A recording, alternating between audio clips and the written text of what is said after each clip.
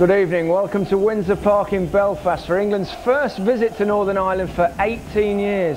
After their narrow win in Wales, Sven will be hoping for goals and he's gone down a tried and tested route, a Newcastle centre forward.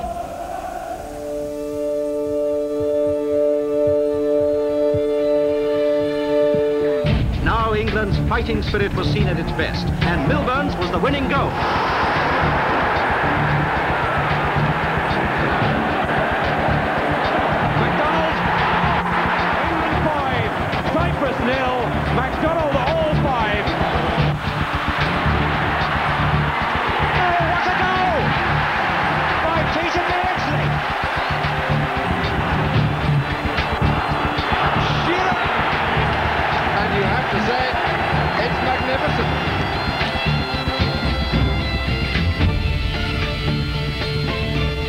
I'm ready to go. Feeling better mentally now that I know where I am.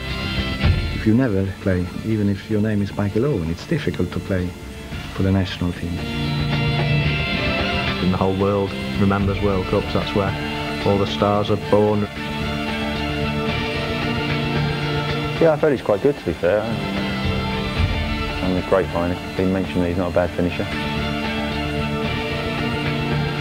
I hear people saying, you know, does this formation suit and blah blah blah. But the main thing is to get the ball in the net, and that's what I do best. War Michael joining a long line of black and white England strikers, and I don't mean Brighty and me. Uh, two Ians tonight. Former Northern Ireland striker and Crystal Palace boss Ian Dowie joins Ian Wright and Alan Hansen. And Alan, Michael Owen's back, back in English football and back in the England team. Great to see him back, and uh, English managers, past and present, have said if he's fit, he's in he, because they know he's worth to the side. He virtually guarantees you goals. One of the criticisms about the performance against the Welsh on Saturday was that when England were breaking quickly and getting it wide, there was nobody in the box. He will be in the box every time. He's much better for the balance of the side. He's not played that often in, and um, he's the only change. Um, Owen coming in for um, Joe Cole, with Rooney going to the left. Well, the thing about it is, like say, if Michael's fit, he should play. You know what I mean? I remember, like, even when uh, in Europe, Portugal, like, they were talking about Michael, like, oh my gosh, he ain't scored, he ain't scored, what's happening? And he's a tried and tested, tried and tested at this level. There's no problem with him. You know what I mean? And if he's playing and he gets a service, he will score. I'm so confident and pleased that he's playing tonight. And he, and he might get a bit of service from one Shaun Wright Phillips in. He must Well, be, must be very pleased as pleased. punch that he's um, kept his place in the side. Well, I am, you know, because like um, he got taken off as an England fan. I was very disappointed he got taken off the other day because you know he's playing well, he's getting past people, he's getting the ball in the box. He set up a couple of chances, but as his dad, I was pleased that they took him off, says he couldn't do anything wrong. After. but like, Is it- is it hard watching him in? Is it is hard watching him because I'm nervous for him. He doesn't show any nerves. He just gets on with it. He's very calm. He's very cool. Nothing like me. He'll just get on with it. But I, I'm, I'm just nervous for him every time I see him playing. You know. I think he's done really well because on his debut he did look nervous. Yeah. His touch wasn't there, and yet he started brilliantly for Chelsea. Could have scored and in twice, England jersey, Yeah, he's been terrific. Well, that's right. Um, and the thing about it is, is with the he made his debut in, in Premier League football against Manchester United. That's a massive game. I went up there and watched him, and he was calm and cool. He just took in his I stride. bet you That's- Well, I wasn't because you know what I mean. I was nervous for him, but he he takes it in his stride, and that's Ian, how really will um, Northern Ireland cope with this front line? I think it's very important how we, how we start the game. You know, there's no question that Owen's going to add a lot of armoury to it. You know, with, with Beckham, Gerrard, and Lampard, there's, there's there's an array of passing there that's going to hurt. It's how we deal with that three in midfield for me that's going to be important. They were good, given a boost by um, a great result at the weekend. The first win in four years against Incredible. Azerbaijan. Here are the goal. Well, Stuart Elliott's made a habit of scoring from, from wide left. He really has. You know, for Hull with Peter Taylor, and you see how much it means. You know, we've been so long without it, and that's Warren Feeney scoring, and his dad scored few years ago. That was probably an own goal, but uh, massive boost, a massive boost for the team. You see what it means to people. You know, and I think that's going to be key. We've got to give their fans something to spark about tonight. They've got to have something to get on to early on. A real high tempo, high octane. Have start. they got the, you know the names to do it? I mean, Well, you know, I, think, I mean, like for like, you're not going to compare. But you know, there's there's a lot to be said for this environment. You know, it's going to be we've got to make it we've got to make it a war early on. We have to make it that way. Yeah, wonderful atmosphere here, Oh, even though it's only what fantastic. 14, 15,000 people. Fantastic supporters for, for Northern Ireland, but I would be very, very surprised if Northern Ireland try and attack him, and I think it would be very similar to the game on Saturday, where they'll get men behind the ball, because if they open up at all, England will muddle them. And this system, do you, do you think it's a, a winner for England in this one? Um, yes, you've got to be confident. You got to say that we can come to Northern Ireland and take what they've got to give us in respect to the pressure they're going to give us, and our quality should tell. I personally feel. I think to be fair to Beckham, he's not silly Sven in the sense that the two games he's tried David Beckham against Wales and Northern Ireland, they're going to have a lot of possession. And anyone you want on the ball, it's David Beckham. I think that's what Northern Ireland have got to do. They've got to drop maybe Healy onto David Beckham, or he's going to hurt us big time tonight. You're not sure that he can play that position against top opposition, are you? Against the- the best opposition in the world, that position's all about destruction. I mm. mean, Beckham's attributes are getting it and passing and playing, but that position is purely about protecting your back four and being destructive. And I don't think that Sven Göran Eriksson will play him in that position against the better. Pirlo wouldn't say that, would he? Italy wouldn't say that with Pirlo, would they? He was a centre forward. They've converted him into as their best passer. They play him alongside Gattuso. Now I think Gerrard's combative enough to give him that. Now I agree. I think against top level you do need maybe a bit more screen, but I just think it, it may take a little time to settle. I don't think it can't work. He's got the quality for it to work. Ah, he's played. He, he's played as an attacking right winger all his life. Oh, yeah. If- there's a lot being said about his ability or non-ability to tackle, but if you ask me, the best attribute in that position is position. Hmm. It's not. It's not all about tackling. You need somebody in the back four that's played there for a long time that will get in there and just sit in that role. Again, I thought on Saturday he was the best player on the pitch, Yeah, yeah. but he picked up and played it, Oh, and he might get that room again tonight. Quickly before we hand over, you're, you're all going for England, aren't you? No, no, no. absolutely not. Uh, joking. I'll get lynched here. Going for a battling draw tonight. A battling draw. No, we're beating them. We're beating Comfortable? Comfortable for England. Yeah. Okay, we'll see. Right, Northern Ireland versus England, a World Cup Group 6 qualifier. Only pride at stake for the Irish, but you sense it matters. Uh, as for England, well, with the nuances of qualification, two wins from their three remaining fixtures will guarantee a place in the World Cup finals, either as group winners or as best placed runner-up. Austria's draw tonight ensures England at least second place. Match commentators here in Belfast, Graeme Le Saux and John Motson. Thanks very much, Gary, and uh, good evening, everybody. I tell you what, the crowd here can't half sing. Uh, when they play Amarillo by Tony Christie, they uh, they almost take the roof off. Uh, but there are celebrations around here in the province for lots of reasons. This famous old Windsor Park ground that Linfield supporters call the Shrine was 100 years old last Friday. It's also tonight Northern Ireland's 100th World Cup qualifying match and fittingly perhaps the Irish FA are marking their 125th anniversary this year. And uh, I think I'll just stop and let them sing for a minute, Graeme, actually. You might be as well too. But uh, no, there were great scenes of jubilation here on Saturday when Northern Ireland won their first home match and their first competitive match, no less, for all of four years. And uh, tonight, this crowd, as Gary said, only around 15,000. And somewhere around there are 1,000 England fans. That was the allocation given to the uh, English FA with all the flags as usual paraded there. Many more travelled actually, hoping to get in. But uh, there's one little, one little thing about the ground. The, the stand to my left, the Alec Russell stand, is named after the Northern Ireland goalkeeper who played in the first post-war international here in 1946. Uh, no, I wasn't around then, but England won 7-2. Well, just I was, but not doing this. They won 2-0 the last time the teams met in Belfast in a European qualifier in 1987. And uh, somebody can make his name tonight for the Irish because they haven't scored against England since 1980 when Terry Cochrane's goal gave them a draw at Wembley in the home international championship. What- that- that- that's what they think here because they still hold the trophy, Northern Ireland. They won the British Championship in 1984, the last year before it was discontinued. So the scene is set. As Gary Lineker says, England are two games or two wins away from a certain place in Germany 2006. If they won tonight and beat Austria on the 8th of October, then England would be guaranteed an automatic place in the World Cup finals. We'll also be keeping you up to date, by the way, tonight with what's happening to Scotland in Norway, to Wales at home, uh, travelling to uh, Poland, and also to the Republic of Ireland at home to France. Graeme, before the teams come out, what, what are you expecting from this? I mean, Northern Ireland held England for 45 minutes at Old Trafford, didn't they? They did, and they've got home advantage this time. There's obviously a very vociferous uh, audience, and uh, the, the pitch is great. I think they've got to take advantage of the of the fact they're going to have the crowd behind them. There's going to be a great atmosphere created early on, and that'll help their work rate. I think if they can if they can really get at England, they need to show real togetherness and play as a team because a team is always better than the individuals um, if a team another team plays uh, purely on an individual basis. So I think Northern Ireland have to use all of their strengths. The main things they'll be looking at is they'll be trying to work down the sides of England because of the England formation. I've got a feeling that both fullbacks, Cole and Young, could be exposed slightly because obviously Shaun Wright-Phillips likes to get forward and in this formation England will want Eriksson will want him to get forward. Rooney's going to float around a lot which could leave Ashley Cole exposed. So it's really important that England, uh, that, that Northern Ireland try and use those strengths to, to put England under some pressure. But in saying that, we've got to look at the England players. We've got fantastic talent at our disposal these days. I think people have been frustrated with the last couple of results.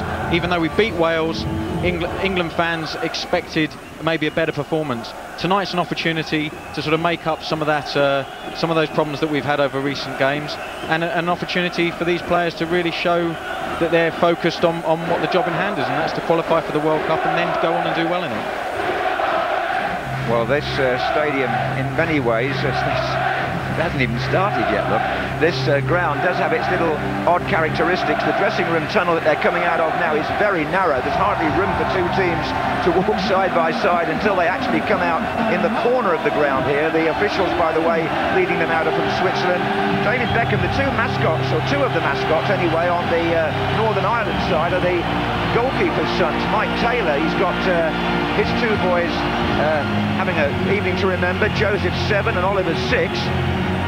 And uh, he'll also be hoping, if he can, to keep a, a, clean sheet for as long as possible. He was a bit unlucky at Old Trafford because uh, one of the goals that England scored was an own goal. And uh, we'll have very shortly now the uh, ceremonial part of the evening. There'll be national anthems, there'll be a presentation party coming onto the pitch, and we'll also see Northern Ireland wearing black armbands because one of their squad players, uh, Colin Murdoch, uh, has our sympathy. His father passed away last night. In fact, as a result of that, he won't be on the uh, Northern Ireland substitute bench.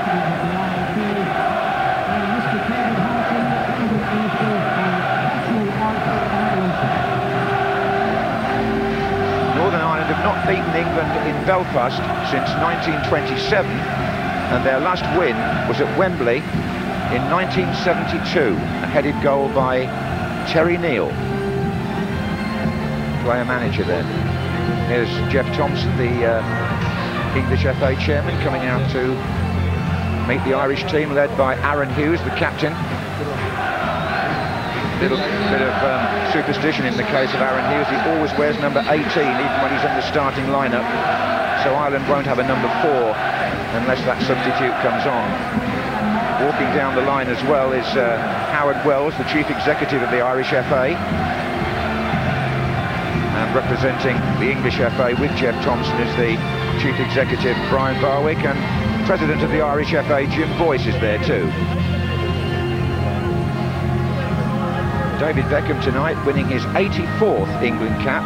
That puts him level with Ray Wilkins, who finished on that number. And there are only six players now in England's international history who've won more caps than David Beckham. I think you have some fun at home and work out who they are. Five of them are quite easy, but one's a bit tricky, Graeme. I'm not going to test you now. Please don't.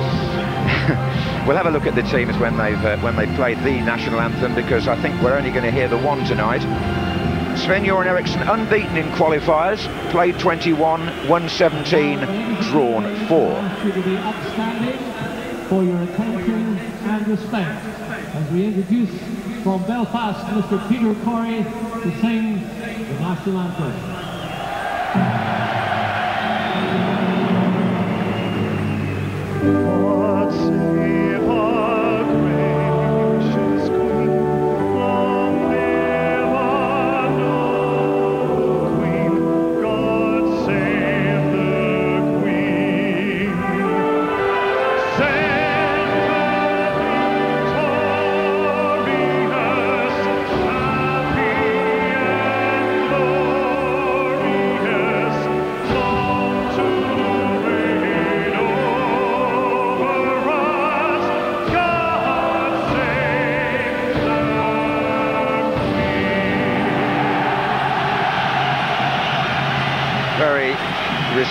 Son. And the handshakes now as the England players go down the line. And Northern Ireland tonight have announced an unchanged team for the first time in eight and a half years. Lawrie Sanchez picking the side that uh, faced Azerbaijan four days ago and now for those of you that aren't familiar with all of them, there are four players from the Premiership, Taylor and Johnson of Birmingham, Hughes and Davis of Aston Villa, five from Championship clubs, Baird of Southampton, Capaldi of Plymouth, Gillespie Sheffield United, Elliott from Hull City who scored on Saturday, and Healy of Leeds, the top scorer in Irish history. Centre-back Craigan plays for Motherwell, striker James Quinn, who's useful in the air, is now with League Two side Peterborough. And of course Lawrie Sanchez did send two players, Whitley and Mulryne, home last week uh, for breaking a curfew.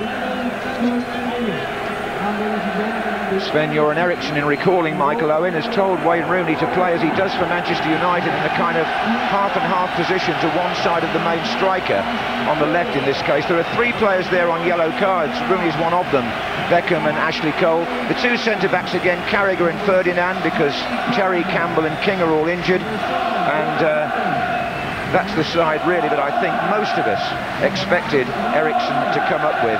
Wright Phillips encouraged to stay wide on the right. Among the substitutes there, Northern Ireland have Warren Feeney, who came on against Azerbaijan and scored from a penalty. And uh, Joe Cole now takes his place on the England bench. The man to give way there is Kieran Richardson, despite coming on against Wales. Mentioned too tonight for another veteran figure of Northern Ireland football. That's Derek McKinley. He's the kit manager and he's on duty for the 182nd consecutive international. So much so that the Irish FA are contacting FIFA to find out if uh, Derek has set some kind of world record. And also helping, oh, well, we'll wait because I think we're going to have the minute silence for uh, the sadly departed Mr. Des Murdoch.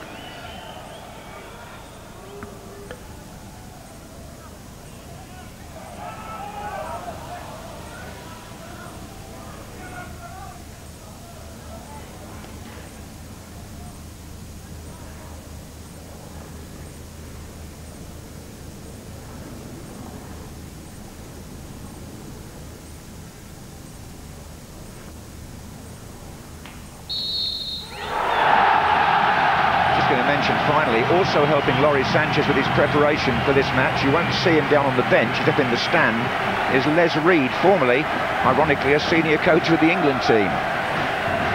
Lawrie's also got help from uh, Gerry Armstrong, Terry Gibson and Dave Beasant in his management structure. Early minutes important, Graeme? Early minutes are very important for both sides. England's formation is important, how that works early on. If they can get Wayne Rooney on the ball in the sort of areas that he likes to work in, he can provide um, a really dangerous outlet for England. Equally, Northern Ireland have to work very hard at closing England down, getting their distances from the goal correct so they don't leave a lot of space in behind them. Uh, otherwise, they get exposed by Michael Owen's runs. And I think they just need to work as hard as they can in unsettling them. Massimo Busacca from Switzerland, 36-year-old restaurateur. There's the man with the whistle. It's the first foul as well. And uh, I think Ashley Cole's going to be a bit of a target there on his two tackles tonight. But uh, that was James Quinn, who used to play in Holland for Willem II. Never quite fulfilled his potential. He's very good in the air, given the right service. He certainly is. I saw him play against Poland in their opening qualification match, and, and he had flashes of, of excitement. But I think his uh, his goal scoring record for a centre forward is, is something that, that he'd be looking to improve on. Uh, and I think but for that, he probably would have had more success in Holland. Now this is aimed towards Wayne Rooney. It's come off Craigan. Now Steven Gerrard. Northern Ireland in their traditional green shirts.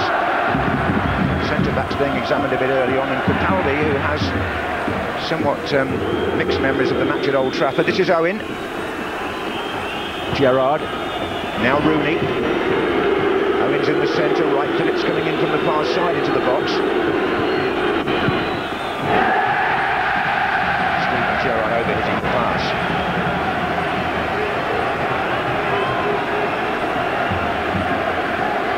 Lawrie Sanchez is already out at the edge of the perimeter area, just reminding his players what their respective duties are. Had a very uh, good session yesterday morning, the Irish team. There's Beckham. Oh, the tackles are flying in already, Graeme. They certainly are. As we expected, though, I think uh, the Northern Ireland players will be looking to, to really hassle England as much as they can and, and just try and unsettle them. And that's, that's you know, the point of, of playing at home is, is to start the game as, as quickly as you can. To see how Luke Young does tonight. He was steady against Wales and playing largely because Gary Neville is unfit. Here's Shaun Wright-Phillips.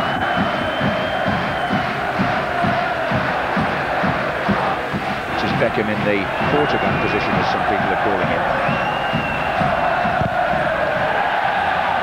You sense the Northern Ireland fans, every time a tackle's won, the ball goes out of play, something's blocked, they're cheering. So this is something that the, the Northern Irish players can feed off. Yes, Lawrie Sanchez's instructions were to really get to grips with England in the uh, marking, covering and channeling sense, but Shaun Wright-Phillips has turned Capaldi here. Rudy's in the centre, there's a deflection on the cross, it's a corner.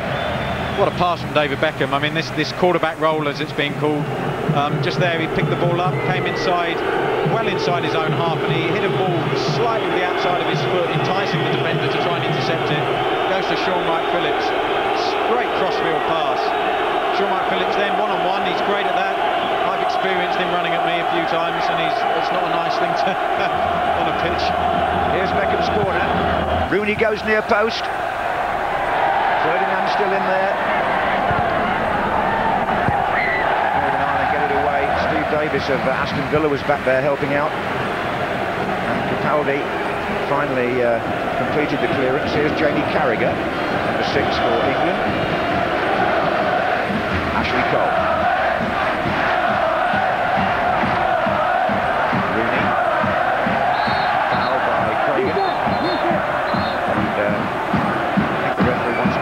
Here with the Motherwell centre-back.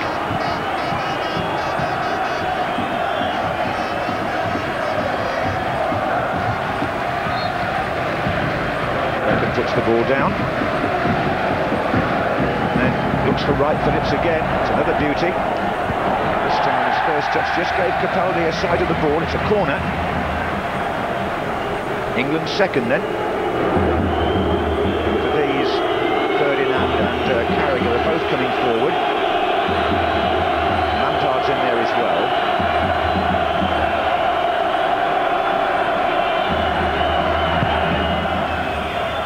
Here's Rio Ferdinand. Getting any real contact on that. Back by Wright Phillips to Beckham. Driven ball this time. There's Ferdinand again. This is Owen. Little jink inside. Gerrard. Moved across once more to Beckham. Now Carragher. Good, strong play by the centre-back. And then the ball... Well, there was a flag up anyway. I think somebody was offside there.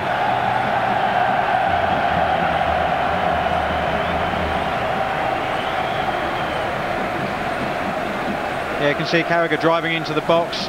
It's dangerous play when a when a player gets into that area and he's got he's got a head of steam ahead of him. I think I think the linesman presumed it was a pass. I think Jamie Carragher was trying to trying to get his own glory by, by going all the way, but uh, uh, the linesman, you know, obviously once he's given a decision, that's it.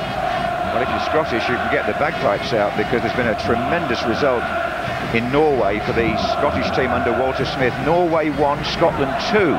That keeps Scotland's slim, admittedly, hopes of qualification in that group alive. Kenny Miller of Wolves, the hero against Italy on Saturday, scored both goals tonight.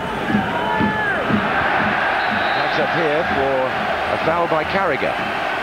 Northern Ireland's first attack, really. And here, Craigan will go forward to help the two best headers of the ball in the attack, who are Quinn and Elliott. Capaldi will take it.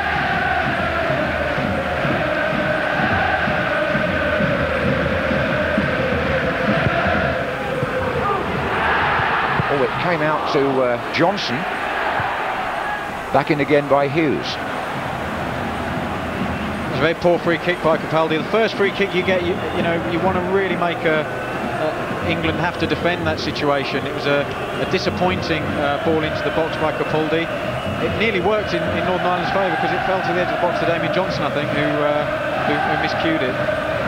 Capaldi had the misfortune to uh, give the ball away for the first goal. I remember at uh, Old Trafford when England scored three in six minutes in the second half, four in 16 in fact as well, which uh, all came in a bit of a rush as far as Northern Ireland were concerned after they held England till half-time. In goes Healy there, and I think the man who felt that was Lampard. Anyway, play goes on, Lampard's down, and this is Ashley Cole. Well, he is down, Frank Lampard. Yeah, he's hurt himself there. I think he may have got a boot just below the shin pad and, and the top of his foot, and he's, he's, you know, Frank's quite a tough lad, so I think he must have really felt the uh, the full brunt of that challenge. It was Healy who came in there and uh, certainly made contact. You see David Beckham getting stuck in, and then then the, the, the foot of Healy came through, actually came through onto the top of Frank Lampard's knee. And when you've got a stud on straight on your kneecap, it's extremely painful. But but hopefully he hasn't broken the skin. Um, you know, the pain will settle down. He'll, he'll be back on in a few minutes. Well, Frank Lampard, who's at the moment on a terrific run of consecutive Premiership appearances, the best by an outfield player, and uh, doesn't get injured very often, never seems to miss a game, and now Sven-Göran Eriksson, who did say this week that he thought Lampard had made a slowish start to the season by his standards, sees him coming off for further treatment from Gary Lewin. So England for the moment are down to 10 men here as they defend a long throw. It's come back out to Keith Gillespie and now to Chris Baird.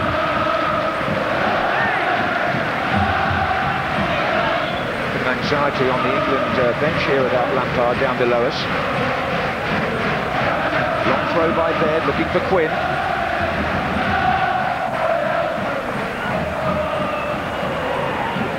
Here's Michael Owen. Ashley Cole. Or three of the medical staff attending to Lampard down there. Here's Rio Ferdinand to clear. Beckham, nice touch, Wright Phillips. But Lampard's now back on his feet and trotting down the touchline. Comes back on.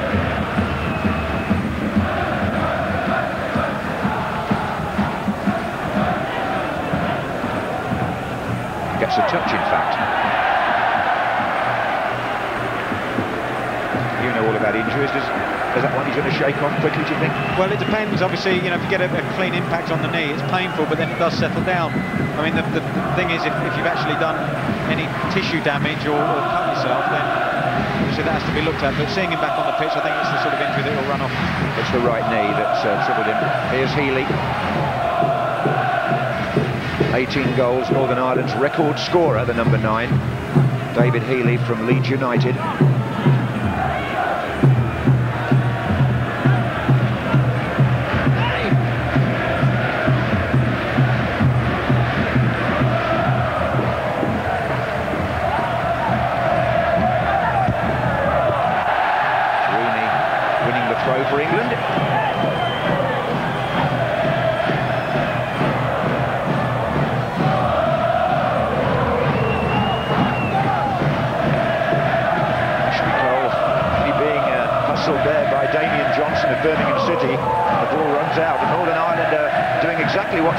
Told them to here, giving England no room for manoeuvre. Here's Beckham.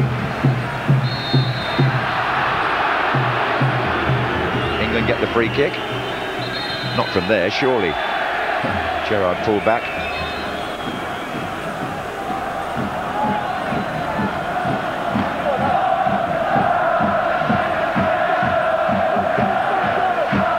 Gary was uh, talking about the nuances of qualification. What happens in the World Cup in Europe. As Shaun Wright-Phillips chases this ball here with Capaldi is that the group winners go through automatically and the two best runners-up and that's based on points you've accumulated. And England and Poland for that matter are quite well placed to achieve one of those two positions. In fact as I said or as Gary said if England win here and beat Austria then Eriksson's team are in the finals. This is Ferdinand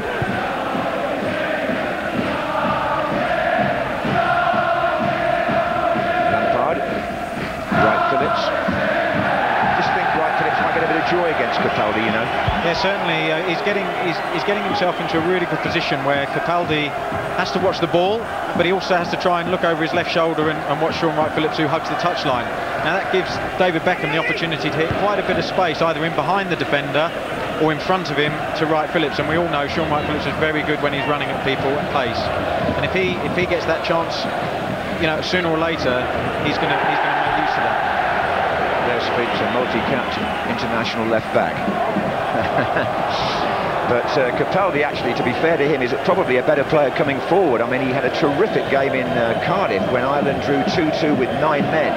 He was man of the match that night, actually, in the Millennium. And I've seen him play for Plymouth as well. Yeah, he's a very decent player. He's, he's, um, he's had a good run in, in the national team and at club level as well.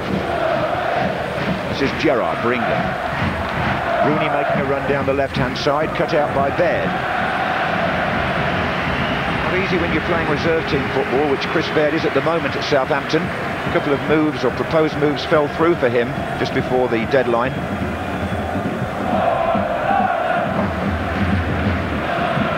Quinn, but he's been penalised for backing in.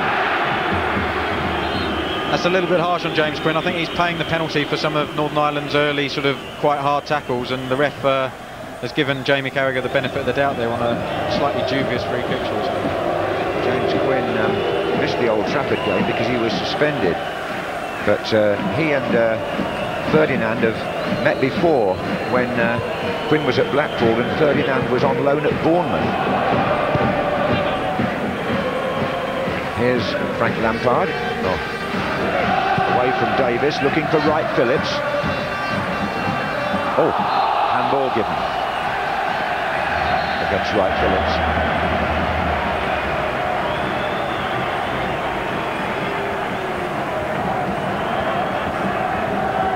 Can see that Capaldi is, is, is struggling for pace against Shaun Wright Phillips and I think Shaun Wright Phillips felt he could uh, he could close the ball down. A little bit unfortunate, he's obviously jumped and naturally your hands go up and, and maybe it's just caught him under the arm slightly. First came here to see England play in 1977 when the uh, security presence was quite overwhelming, the height of the troubles, but uh, Belfast, I would say from evidence of this trip, a rather more serene place these days. People have given us and the England followers a terrific welcome here. It's a throw into Northern Ireland on the far side. Elliott, who is also quite useful in the air, is jogging around the six-yard line. That's trying to get a flick on against Luke Young.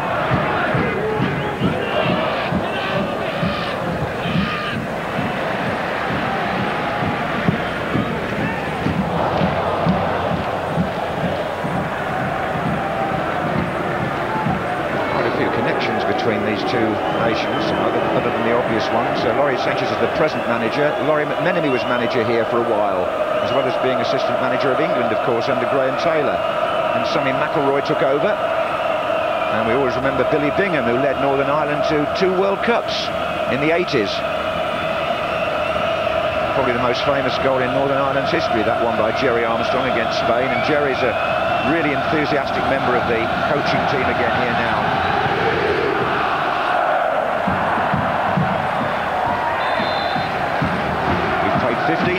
This World Cup qualifier. Northern Ireland nil, England nil, but a great win for Scotland in Norway. Here's Beckham with the free kick. Cole. Rooney. This pitch is quite narrow, Graeme. Um, it hasn't been narrowed, as some people mistakenly thought when they saw it yesterday, but it's uh, Linfield play on a wider pitch when they have the club games here. Here's Rooney. Owen. Typical Michael Owen position and turn. Hit a defender the shot. Yeah, that was England's first sort of real good bit of interplay. Um, well built up. Michael Owen on the edge of the box. Good first touch. And it's just just blocked there. Um, you know, to, took, took the pressure off the off the shot, the weight off the shot, and it was easy for Maik Taylor to collect. I must just add that uh, groundsman here assures me this is the FIFA measurement for an international pitch. This is Wright Phillips taking on Capaldi.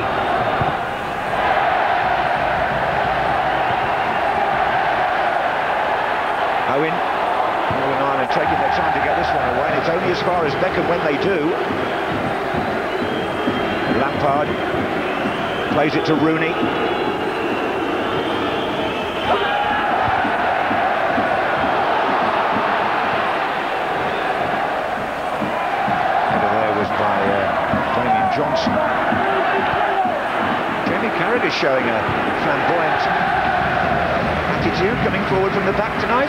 Certainly is. Once he gets a, a head of steam up, he's off, you know, and uh, he's confident enough. He's played in a lot of different positions, so I think he's fairly comfortable coming forward with the ball. And with David Beckham playing that sort of pivotal role, he knows that they've always got numbers behind him to, to cover his uh, the position he's at. Beckham again looks first and foremost for Phillips, who just stumbled a bit there as he went past Capaldi. Another fantastic pass by David Beckham. And Shaun Wright Phillips, they've obviously been working on this. Shaun Wright Phillips has got so much confidence in, in, in the quality of David Beckham's passing that he's already on the move when David Beckham receives it, which gives the defender a nightmare. Yeah, I think Beckham probably will naturally look right rather than left in that position, but uh, we shall see how much they can get Rooney into the game on this side. This is Carragher.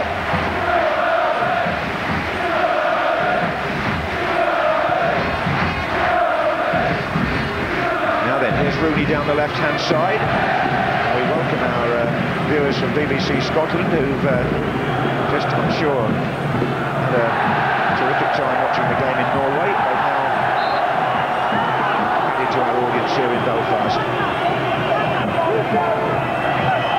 Lawrie Sanchez has been told to go back into the perimeter box there by the fourth official from Switzerland. He's a bit overexcited. He, he came out onto the pitch because James Quinn didn't win a, well, a 50-50 tackle with Wayne Rooney, and uh, I think that would be one of the things he'd be expecting of his players. Chris Baird has conceded a corner. A long pass by Ferdinand was arrowing towards Rooney there. So Beckham will come across and take the corner from the left.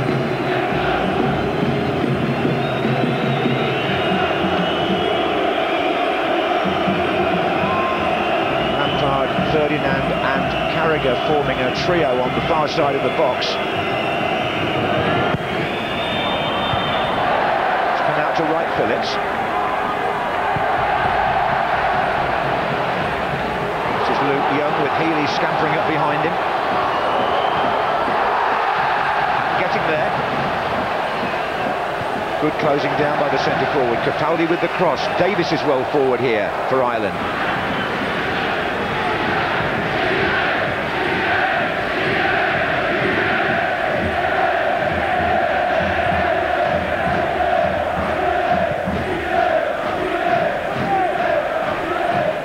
Disadvantage for England of playing on, as you referred to, a narrow pitch earlier, is that they find it hard to get the space um, to, to get their passing movements going. I think that's playing into Northern Ireland hands slightly. They're able to get numbers behind the ball and, and, and congest the pitch, really.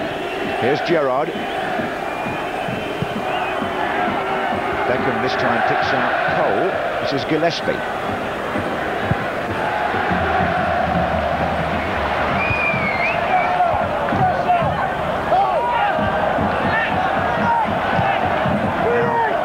The other way towards Wright Phillips. He's getting a terrific amount of ball, Beckham, isn't he? He certainly is, and he's revelling in the role as well. I think he's taking the responsibility with his quality of passing. I think already, you know, we've played 20 minutes and you've, you've had probably eight David Beckham passes that are, that are textbook passes, you know, the quality of which, you know, is, is you can't appreciate how technically difficult that is because he makes it look so easy. But that's the, the, the position that he's been given allows him to, to take the time to make that pass and you really get the sense that, that this whole sort of team is built around him. People move move out the way so he can get the ball. They pass the ball to him whenever they get the chance, and he's got to he's, he's got to prove effective in doing this by not only making wonderful passes but making effective wonderful passes. So we're so used to seeing him wide right for England, but we ought to point out that in his first season at Real Madrid, he played almost exclusively in central midfield. Hughes.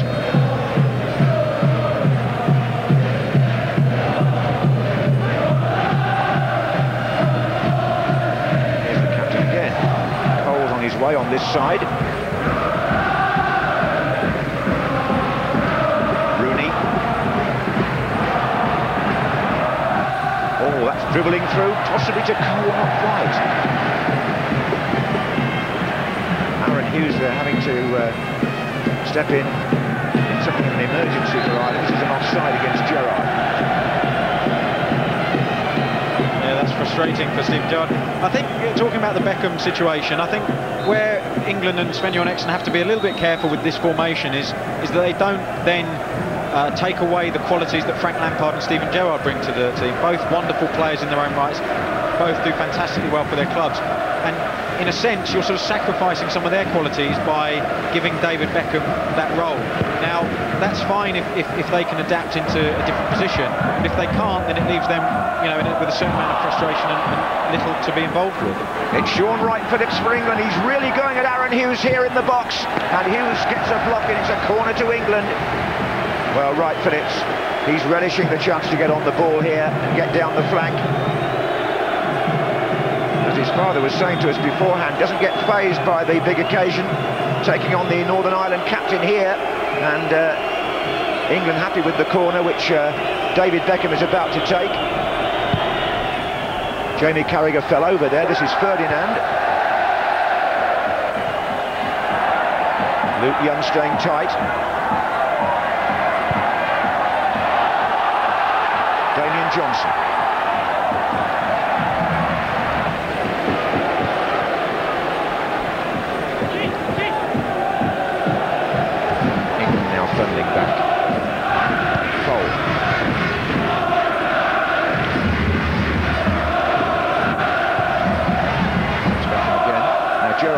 Pushing on alongside uh, the main striker. In fact, uh, Rooney's in the centre as well here. Owen's not quite involved at that end of the field just at the moment. He's trotting up there now. Here's Wright Phillips.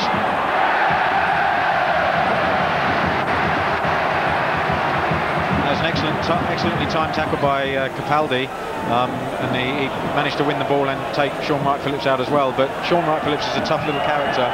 Must take after his father in that respect because he's picked himself up and he's looking to get the ball again already. Right father, right son. Here's um, Lampard, and now it's Gerrard. And England have got good movement here again.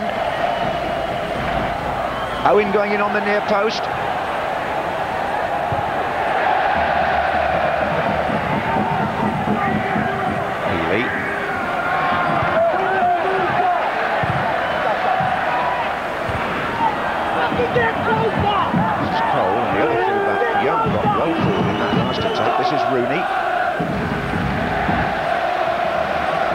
The goalkeeper for Northern Ireland, was 34 last Sunday. It's his 48th cap.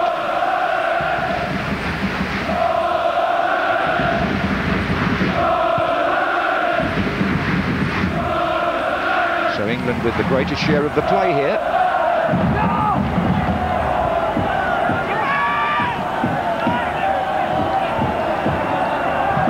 Beckham to Lampard to Rooney. Rooney's gone uh, rather more central this last two or three minutes. Graeme? That's right. He hasn't hasn't had much of the ball out on the left, and, and although he plays a free role, he's predominantly stuck out to the left in the first 15, 20 minutes. But now he's starting to move inside, looking looking for the ball, and again with with the qualities that he has, it gives him an excellent opportunity just to, to find difficult positions and, and arrive on well-timed runs and, and cause Northern Ireland defenders problems. Steve McClaren came out there and made a gesture which suggests to me that they feel on the bench England are playing a bit too deep. Well, it seems that seems that way slightly because you see, you know, David Beckham has picked the ball up well inside his own half on a number of occasions. Obviously, his distribution has been good, but ultimately it hasn't resulted in it. Only once in uh, 11 meetings in qualifying matches of Northern Ireland not lost to England. There was a nil-nil draw, which all Irishmen will remember, in 1985 at Wembley. Pat Jennings came out of semi-retirement to play. It was uh, the point Ireland needed to qualify for Mexico. England were already there. Here's Owen. Wright Phillips.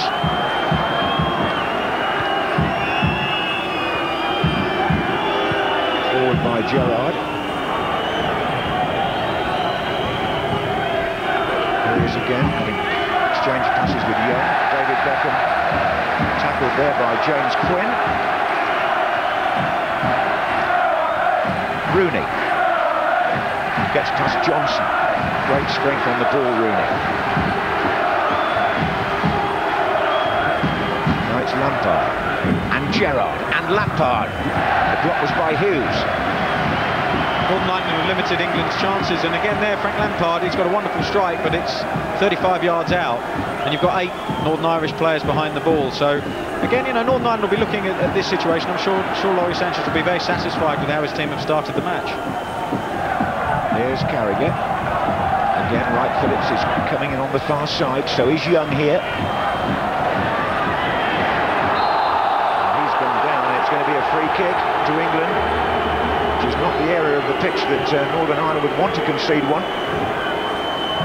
That was always going to be a foul, this. I think Luke Young, he's, he's already got his eye on on Davis and it's a high high foot studs into the leg and uh, obviously a free kick and a very dangerous situation for England to hopefully you know, get a shot on target. It's always dangerous here when Beckham's around, isn't it? And uh, it was Steve Davis of Aston Villa who gave away the, the uh, free kick, the foul on Young. Everybody else apart from Beckham has walked away from the ball. A Bit of mingling in the wall by Rooney.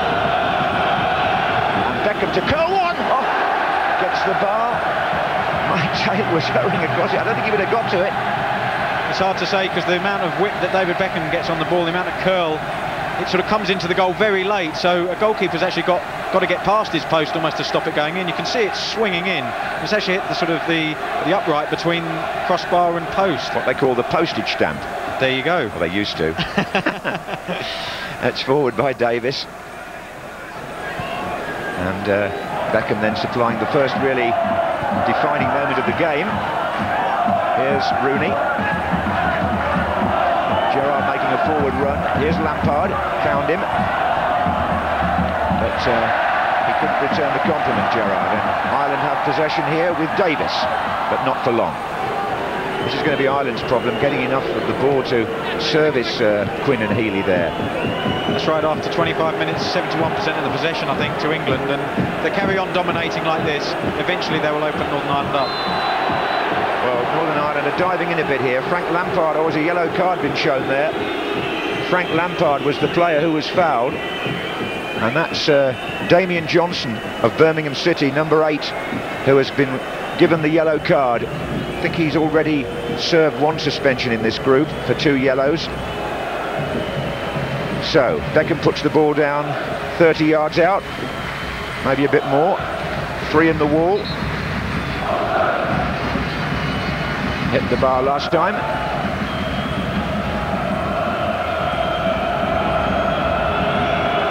Can he get it over the wall from here, I wonder?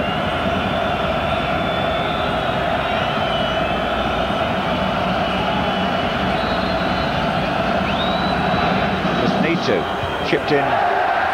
But uh, this is Rooney. Lampard.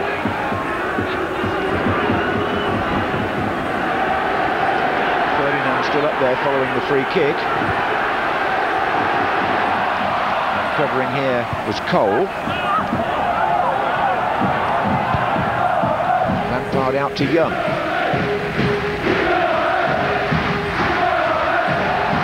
Careless play by England there has given uh, Johnson possession. Now Elliott, who hasn't really managed to get into the game yet on that left-hand side.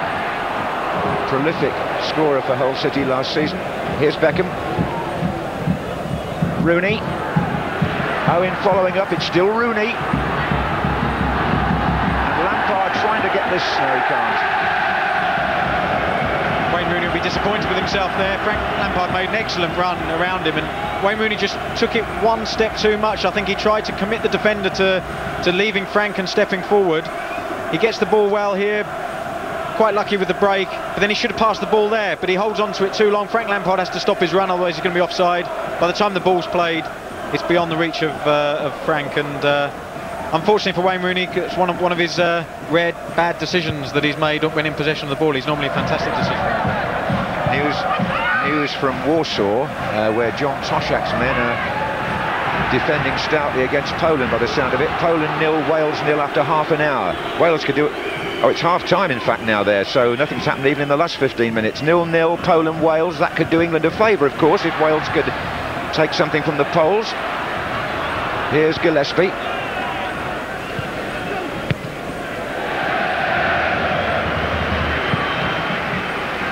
Matches all over Europe, well, all over the world actually this week in World Cup qualification. We'll be showing you at the end of the programme who's already got through to Germany. This is Baird with the throw for Northern Ireland. Quinn's in there, and the header out. Goodness me, that was a half chance really on the turn. It's come back to Capaldi. It was Healy who had the shot, but he's offside this time. His first chance was the better one there. certainly was. I think uh, England obviously have to be very careful when when they've got so much possession. Very easy to switch off. You get a, a situation with Chris Baird on the throw-in wide right. He's got a long throw aiming for James Quinn. They get a, a, a sort of Jamie Carragher actually flicks it on. Falls to Healy and, and Rio Ferdinand does well to block the first attempt. Unfortunately for England, Healy's offside on the second.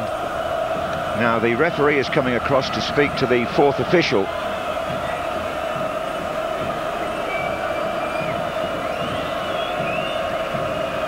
Maybe something on the touchline there that's concerning. In fact, the fourth official has now gone running down to speak to. Uh, we'll get we'll get a clue in a minute what that's all about. I hope. Here's uh, Gillespie. Quinn. Gillespie again.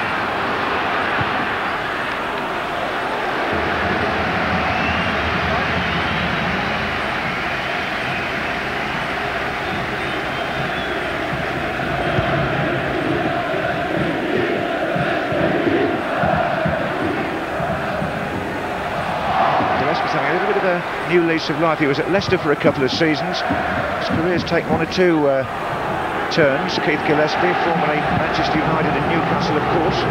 But he won't be able to do much about that. It's a corner to England, which uh, Beckham will take from the left-hand side.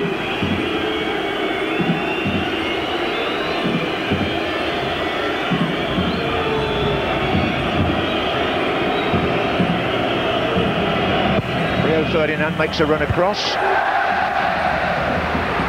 Healy to latch onto the loose ball here. Coles followed him across the pitch and dispossessed him. Okay. Decent little pass from Luke Young. This is Frank Lampard, right across to Beckham. Owen poised to make a run to the near post here. Delivery, Graeme. Disappointing. Not quite as good if he'd been as, as if he'd been naturally left-footed, but I'm not going to complain because my right foot's nothing like his. so um, I think David Beckham had a chance there to actually bring the ball inside and maybe have a shot himself, but uh, he chose to try and be provider again. And uh, I, I, really feel that you know, again, if you continue to get him on the ball, you know, he'll, he'll cause more damage. This match is following a very similar pattern to the first one at Old Trafford last March. This was the way of it in the first half there, and Northern Ireland held out till just after the break. And then the floodgates open. Here's Davis. Down the middle goes Healy, cut off by Carragher. Gerrard.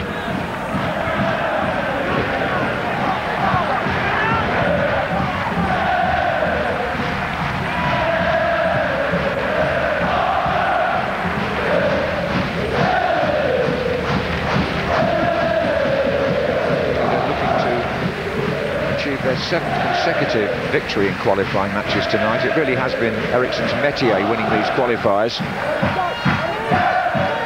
If not uh, going on from there to win trophies, but uh, hopefully that might change. This is Johnson. We have 10 minutes left in the first half at Windsor Park.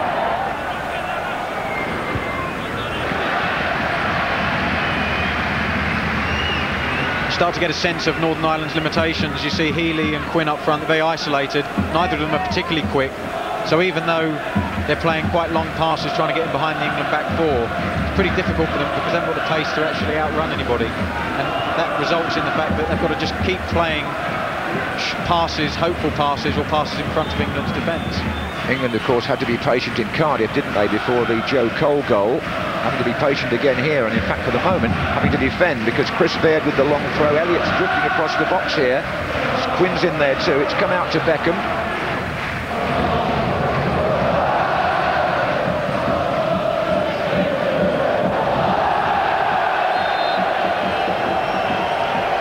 Well, Luke Young there was pulled up. It's uh, not going to be a free kick though, it's a throw-in. He just didn't quite get hold of the ball there. And uh, Northern Ireland using these long throws to try to get the ball when they can on the head of Quinn, but he was so well marked there, they, they just chose another option. And here comes uh, Paul Robinson, who's hardly had anything to do. Rooney, stopped by Johnson. Free kick to Northern Ireland. Again, this is uh, we've seen this a few times with Wayne Rooney with England. Certainly, he gets frustrated because he's not getting the foot the ball. And Wayne Rooney is, is at his happiest when he's involved in the game, in every minute of the game. And so far, I can only think of a couple of occasions that he's had the ball and he's made the wrong selections. He's getting frustrated, and again, he's starting to sort of uh, show that animatedly to the to the referee and to the to the uh, assistant referee as well. Well, he was guilty of shirt pulling there and has to be a little bit careful because another yellow card tonight would rule Rooney out of the Austria game. This is taken by Baird. Right across towards Elliott. Craigan stays forward. Chance maybe for Quinn. And because it came back off Ferdinand, uh, Robinson had to kick. Wright Phillips with Owen making a run through that channel. Wright Phillips again.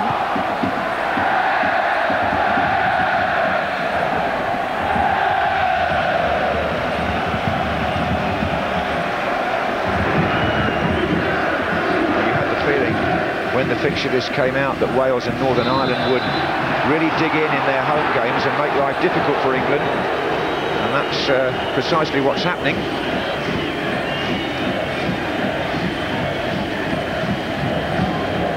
Frank Lampard to Jamie Carragher.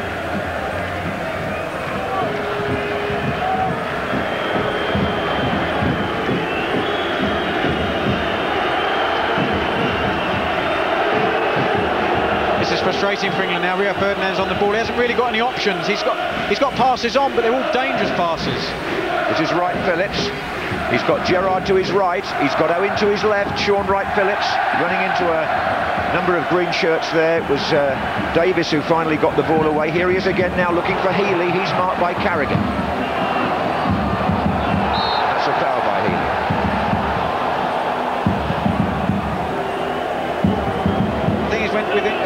I say, with England with the formation, they've got so many people close to the ball.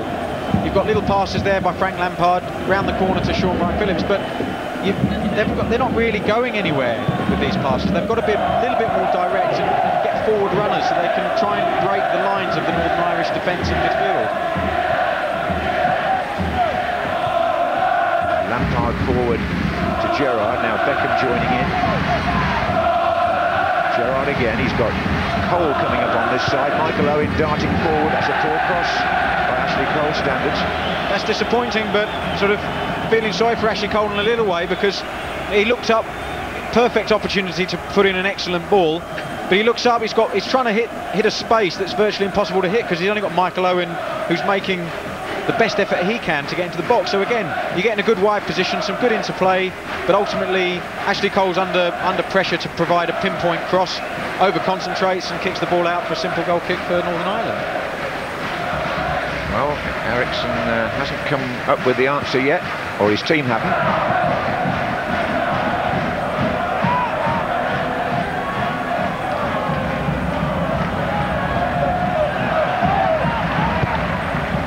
Five minutes left in the first half as Quinn there grapples and Elliott gets in for Northern Ireland on the far side. Young trying to shut him down. This is Davis. And now it's Capaldi. And that's come out to Johnson. They've got green shirts forward here. But uh, Healy there didn't get the right contact on that pass.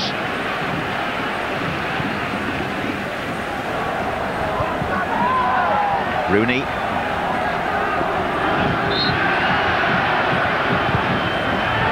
That was frustration again by Wayne Rooney, really. He completely wasted the free kick. He certainly did, and um, he's showing his youth, Wayne. You know, and he, he's had he's had plenty of opportunity to to learn from sort of you know mistakes. But it's it's one of these one of these situations where you know, I have a great sympathy for him because, as I've said, he's he just wants to just wants to play football. He wants to be involved all the time, he's lost his discipline. Graeme, it's a yellow card. It's a yellow card for Rooney. Uh, Beckham's trying to cool him down. He's in trouble here. He's out of the next game, Wayne Rooney, against Austria, and he's lost it for the moment. Absolutely lost it. With opponents, with teammates, and with the officials.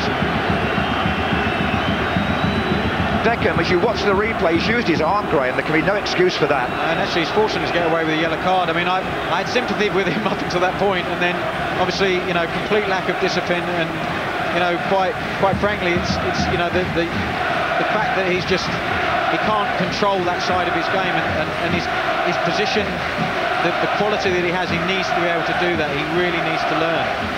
Well, more of Rooney in a minute. Let's just deal with the free kick first, which uh, Capaldi will take with his left foot. Quinn is right in there, so is Craigan. Elliott jumping now. Well, this is back to the Spain game, wasn't it, when Wayne Rooney had a burst of temperament and Sven-Göran Eriksson brought him off, substituted him. Now he's Mr. Angry again, ruled out of the next qualifier for two yellow cards and uh, treading right on the edge here, Graeme. Yeah, he is. Um, you know, I, I myself, when I played, I, I was very animated, aggressive in certain situations, and it's, it is hard when, when, when you when you lose control on the pitch. It's such an emotional game, and we play with passion, and you don't want to take that away from the player. So it's a constant battle trying to deal with it and keeping it under wraps. But you've got to contribute to your team. You know, you can't just try and beat the world by yourself unfortunately, he seems to be taking the world on at the moment. And uh, dare I suggest that part of this frustration could be because he's stuck out here on the left wing? Well, certainly. I think, as I said before about Steven Gerrard and Frank Lampard, playing David Beckham in that in that position is fine. If if, if Steven Gerrard, Frank Lampard, and in this case Wayne Rooney, feel that they can contribute in a way to the game, if you take away these guys' qualities, they're all exceptional players, and you're not doing them a, you're doing them a disservice by not allowing them to play their stuff. Quinn getting up there, it nearly fell for Healy. And Northern Ireland are very much in the fight at the moment.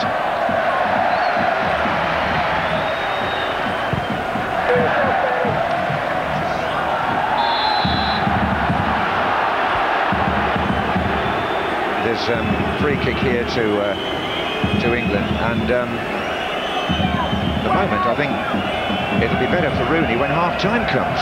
It certainly will. It'll give him a chance to actually take a new perspective on, on the last 10 minutes of the game, get in, get his head down, have some water, whatever he needs to do, and just reassess the situation because he's not doing himself any favours, and he's better than that. That's the frustrating thing. He's a wonderful player. He doesn't need to make things more complicated for himself. David Beckham really did take some time out to uh, try and get hold of Rooney when that happened as the captain, and I'm sure there'll be things said by Eriksson and uh, McClaren in the dressing room at half-time. And anyway, Northern Ireland here with three players backing into the penalty area. Elliott's there, Quinn and Healy. As is Quinn making a nuisance of himself. Gerrard with a half clearance. Now Rooney, he won't get that one either. And there's an England injury on the edge of the area. Gerrard, I think. I'm not convinced, John. I must admit, I look at the players and I, I just don't see you know, they don't, it doesn't, doesn't look like they're comfortable doing what they're, you know, with the detail they've been given. It, and it's, it's obviously frustrating for them. I think Northern Ireland are, are going to go in if they can remain nil-nil uh, till half-time. They're going to go in very satisfied. Absolutely. The, the, system, as you say, it's Gerrard now, though. Owen's in the middle. And Owen with a chance here. Overhead kick. Oh, straight at Taylor. England's clearest scoring chance of the half for Michael Owen. Great play by Steven Gerrard, bursting forward from midfield. Michael Owen's, good first touch, he's up in the air, and he's just had a gamble. He's not made the best contact on that, but with an overhead kick, you never know what's going to happen. Unfortunately for Maik Taylor, it's straight into his palms and saved it comfortably. One minute of overtime to be played at the end of this first half. Gillespie on the ball for Northern Ireland, takes on goal and beats him, and then carries on. This is Healy.